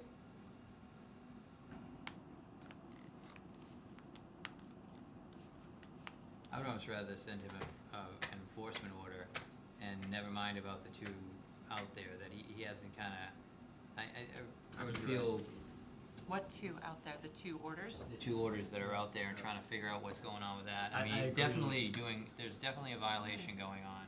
I, I think, I think it's, we can very easily send an enforcement order that says, and, and then our, our. Bill, it- send it for an enforcement order, put some date certains on it when things have to happen, and then we can do failure to comply with the enforcement order that we just sent out to him, and then, and fine. Yes. Yep. I, I, yeah, I think It that's. starts with just an And, enforcement and this order. is the starting point, right? We're, we're, forget about everything else. I think he has one, an enforcement order. I think I sent him one already about this same thing. Was it truly an I an think you did enforcement too, order? because we had this conversation before. I thought we've just like. About step called two. him. I don't think Or did we've ever just done Maybe issue a did. letter. I, I don't know, but it's, it'll be Please- easy enough to put something together, and I can get Please it out look into tomorrow. what was done, so that there's a good paper trail You documenting. file, you sent him something, you copied the file, right? You know, the one thing I have to I tell wanna you that I see the didn't think about Oh. was, yeah, I, I, I can't, yeah, but, so we allowed the snow plowing.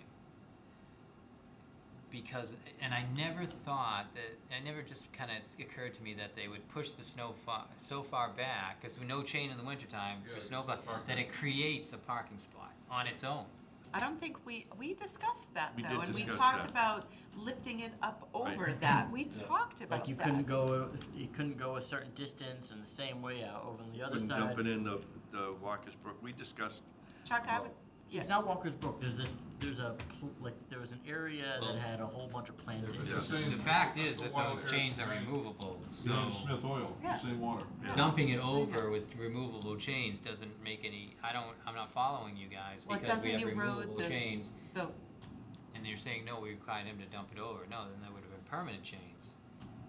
So I'm not, I can't buy into You know, that. Chuck- Yeah, no, you're right, because we, we, it, the, the, the system that we were planning on using got simpler and simpler. Maybe they were permanent chains on the left-hand side.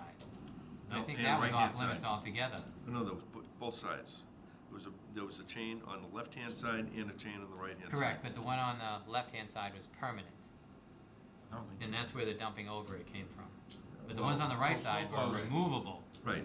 Well, yeah, exist. Uh, Actually, I think we, we said that they could take both of them down as of November one.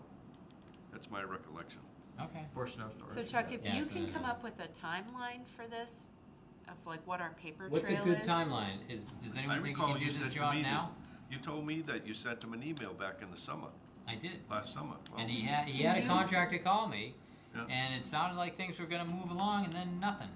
So I Can you mean, just that's, that's his construct- notice. He's already been put on notice. But is that no, was that, was that email saying you can't park there? Was that email saying what's going on with the project? When is Was this what's gonna going on. happen? I think it's okay to start from an enforcement order. I think, Yeah. I think And we need to, then, we need when, to start when now. do you, do you think he can do this, get these things in? I mean, definitely could do You it can now. I stop don't think the parking. ground's right So away. That's not frozen.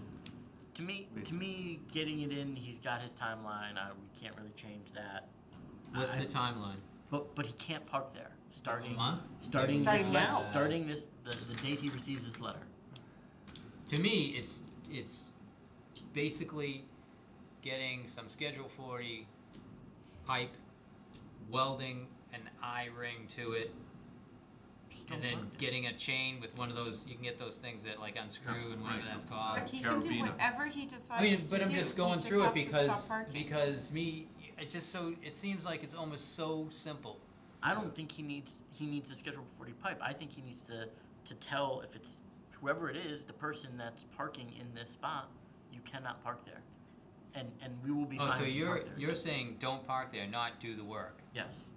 Uh, my my It's the take on the parking in enforcement order spot. It's- is is associated with the parking. we Okay, so can't this is only about we about can't parking. make him do the project earlier than the three years. We gave him a, ti- a timeline to do it, right? I mean, I don't think we can go back and say, well, now we want you to do this quicker.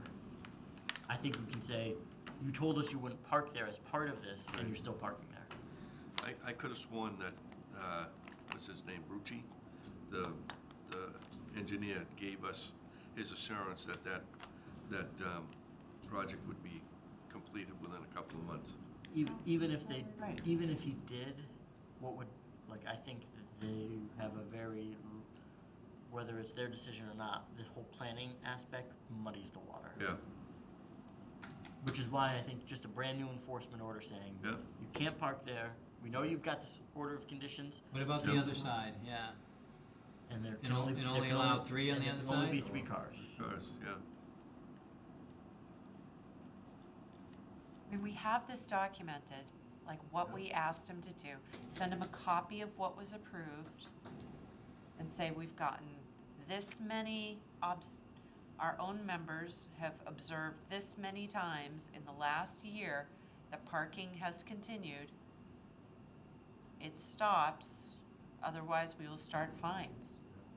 I think you just say on numerous occasions. Well, send me That- that the, send me the pictures, you must have them still, and you might have, who, I don't know. I who- was it don't. you? I sent you Maybe the email with Dave? the I pictures. do. Did I you have a send me an couple email with sets. pictures? So send those to Chuck. You tell when And the- Chuck, just keep it all into one file place I and just, just, I sent it the day I saw it, I think. I was- I, I sent you the pictures. That was but- like three weeks ago. Yeah. I mean, if you sent them, I have them. Yeah. I just, I just didn't put them in a file. I, and I don't, I haven't taken more of them since then because like I don't want. Well, we need Stop. one every day. Do you go to work that way? I, I will.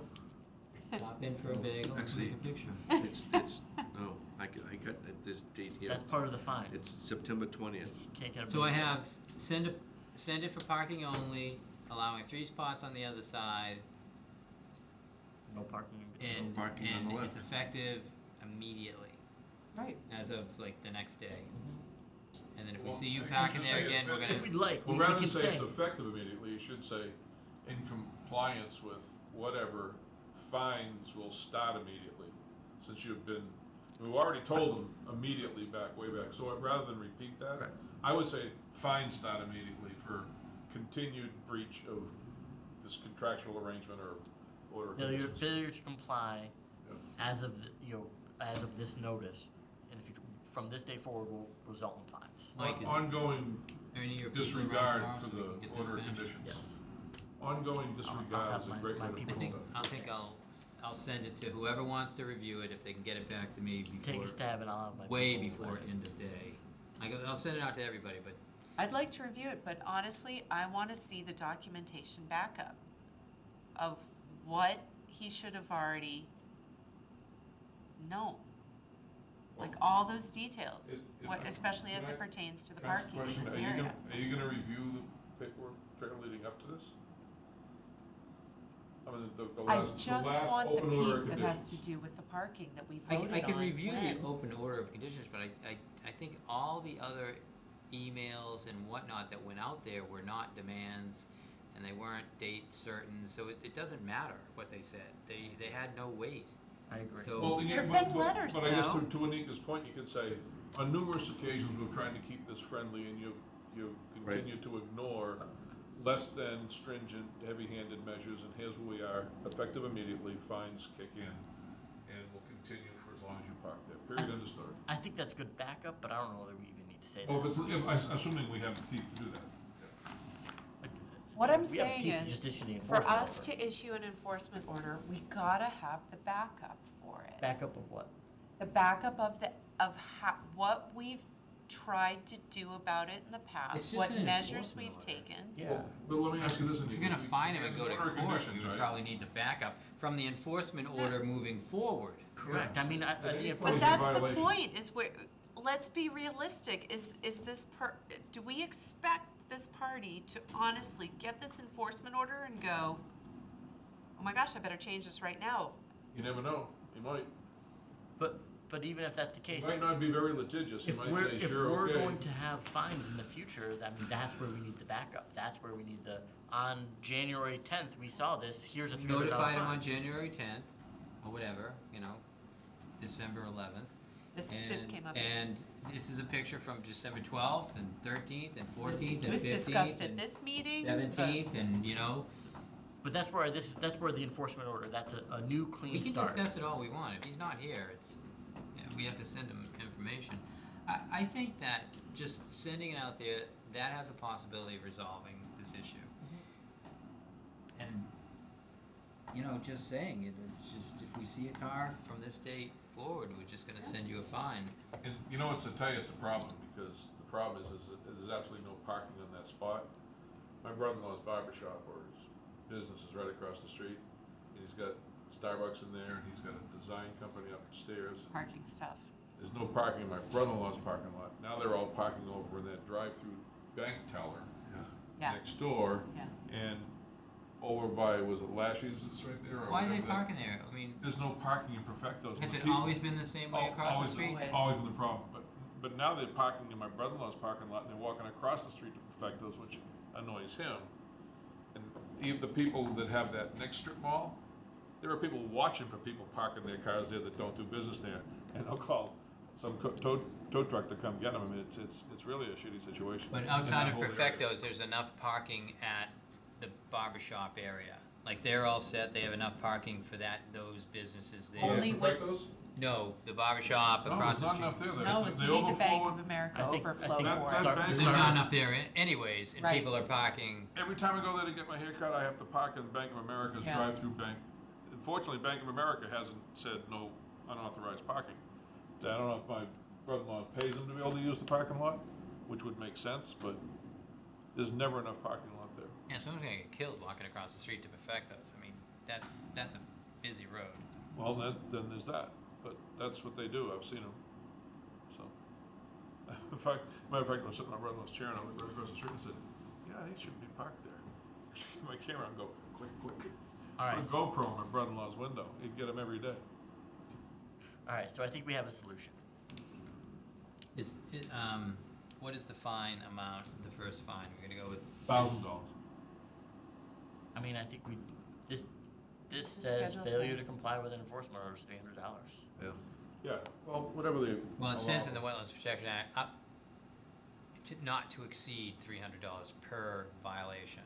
So I'm sure this is taking from that, so, Yeah, but we've set other, nu- we've set lower Right. numbers for other violations, right? But you can also give one of those every day.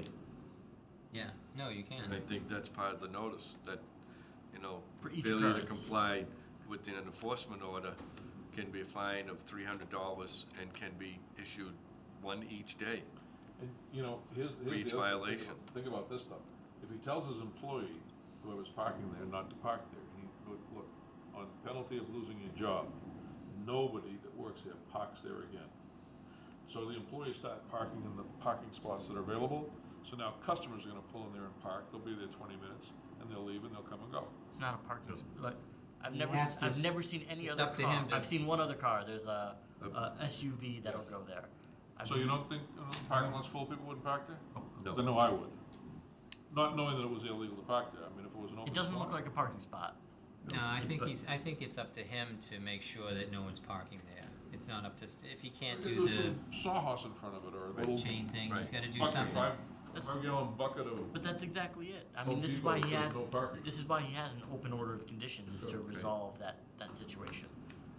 So I'll try to add that to it, so I'll do like a first draft, What we're um, gonna I'll do? send it to you, or send it, well, I'll just send it to you. Okay. That'd be easy enough.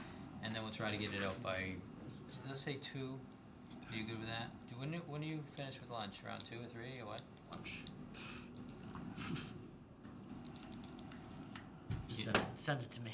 Yeah, I will, I'll send it to you, and do I need to like say, hey, I just sent something to you? Just send it to me. I'll be looking for it for tomorrow. Yeah, yeah. The other thing is you can, you can also just go in and do a search in your, your email to f- see how many times you've already emailed them too. No, that's all. I, I mean, I was just kind of like going off what Anika said, which was at the, at the end of the day, if it, if it wasn't kind of like stop doing this, does it really matter what I sent them? Just if I said, hey, can you give me a call? I need something to, I guess something to talk to you about. yeah, I did When the mention it owner a was few in front times. of us, we told him to stop. Yeah, but. No, I just, y- I, the whole purpose of coming up with some sense of a historic little like bulleted list of, okay, he, he t- promised it there. Right. Um, we emailed him there, we talked to him on the phone then, we got a, Dave saw it happen on this day, Mike saw it happen then. He came to a meeting and Google- promised Google us picked it up on October promised us 2018. he'd do it, and then his engineer promised he'd do it. I mean, if we come up with this Right. overwhelming thing and literally show him it to him and say, we've been putting up with a lot Right. here, and we have documentation a million, like fifty times over that this was gonna get done, and it's not. It's, But, enough is enough. but you don't need that for I an get enforcement another order. year You of can this just issue easily. an enforcement order. No, we don't, but it might, Oh, he could, he would, you go. but it might, it might get him to say, oh, damn, I can't get away with this anymore, I really gotta do something about it. And I think, and it, just the Like age, that we, but the age old Issuing a fact fine is, will tell him that he can't get away with get it. him in the pocketbook, it speaks. If you send him an irrevocable Yeah. fine, it's gonna get his undivided attention, he's gonna go, ooh, yep, I guess now I really have to comply. Agreed. But then, okay, then there's two situations. He complies or he doesn't comply. And if it, if he complies, we're on the way to resolving this. But if he doesn't comply, then we need that weight of evidence to move forward in another direction. No, If he doesn't we need comply, that then- information then anyway. The evidence is coming in the future. It's only, only evidence that we need is things going forward. Right, we need the day. I, di- I disagree, but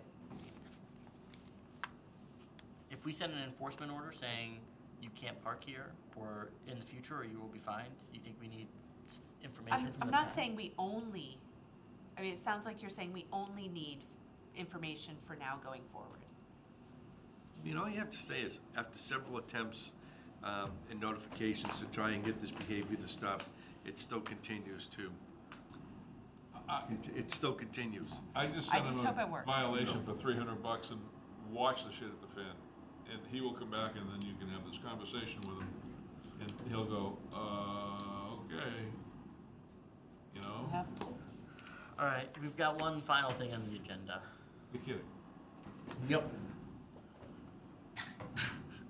You have Perfect thirty time seconds. I vote. Becky is, Becky has officially left us. She sent in her resignation As of two days ago, right? as of two days ago, which means we no longer have a chair. Yeah, we do, he's sitting in it.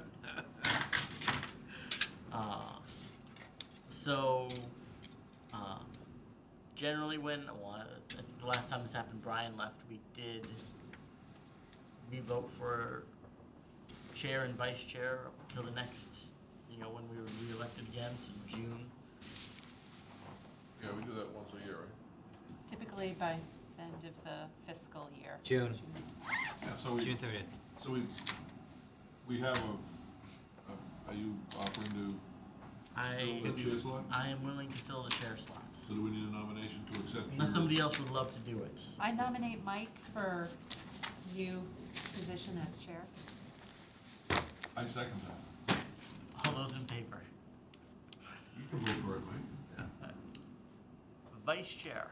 Now, I, I know what you're thinking, kids, but I just wanna let you know that with my vast knowledge and experience in this field, I still have to say no. I, I'm sorry.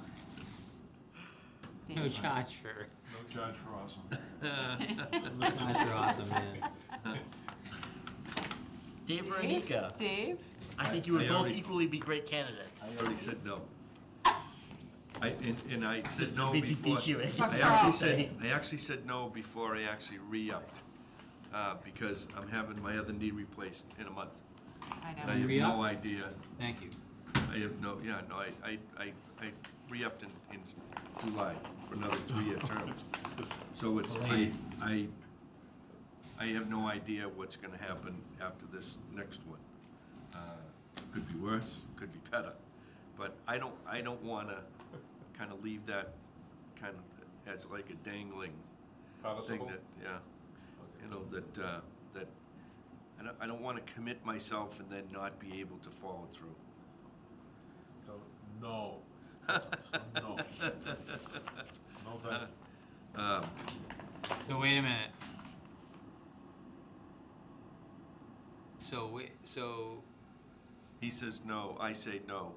You've done it I don't know if, before. like, I so don't there's- know if You, uh, that's, is How that the many? way that, Do you need to have a vice chair? Yeah, just in case the chair can't make a meeting, somebody Yeah. has to chair it. good try. I just asked. Yeah. Me too.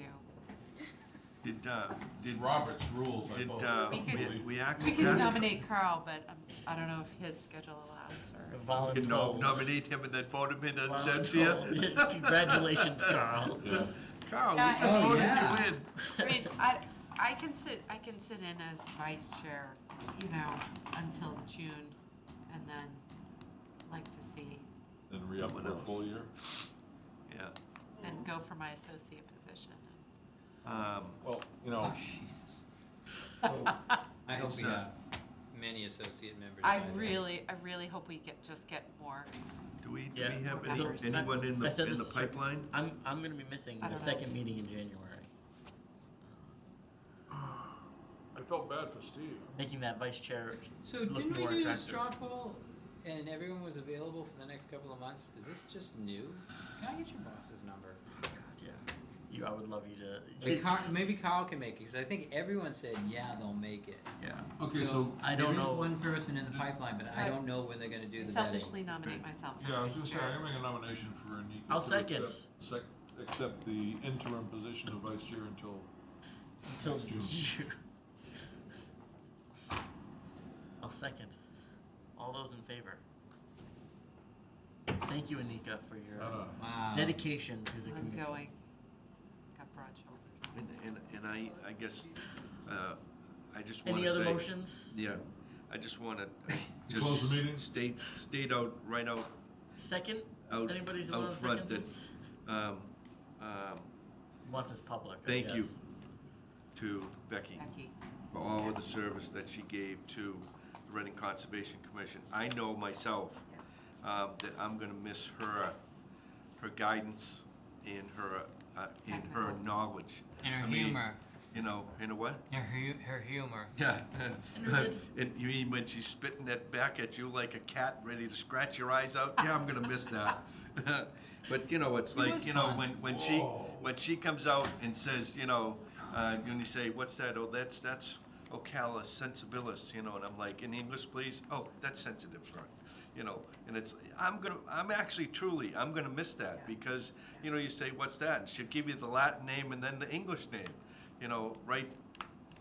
You know, I, I So- respect that. I think, So- I So on the think eighteenth, more, you're even gonna more so give to her her eulogy or dedication. test- No, a no. Testimony. She, uh, I got a log reached, Lehigh Hayes, and even though, and tomorrow Well, is this big, between this how- big knucklehead's birthday. Oh, Oh, look at that. Ah. happy birthday, Bob.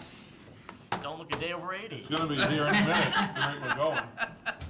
So, anyway. I'm close, though. Thank you to Becky for, Yeah. for her time and her, You know, in uh, her, in her, uh, in, in her, and also her dedication.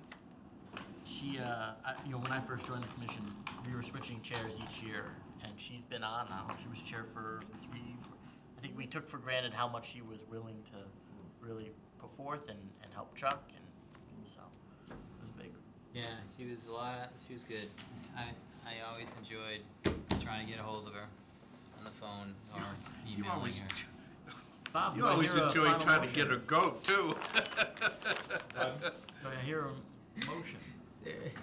Move we adjourn. Well, To Motion adjourn? to adjourn? All those in Second. favor? Hit that gavel.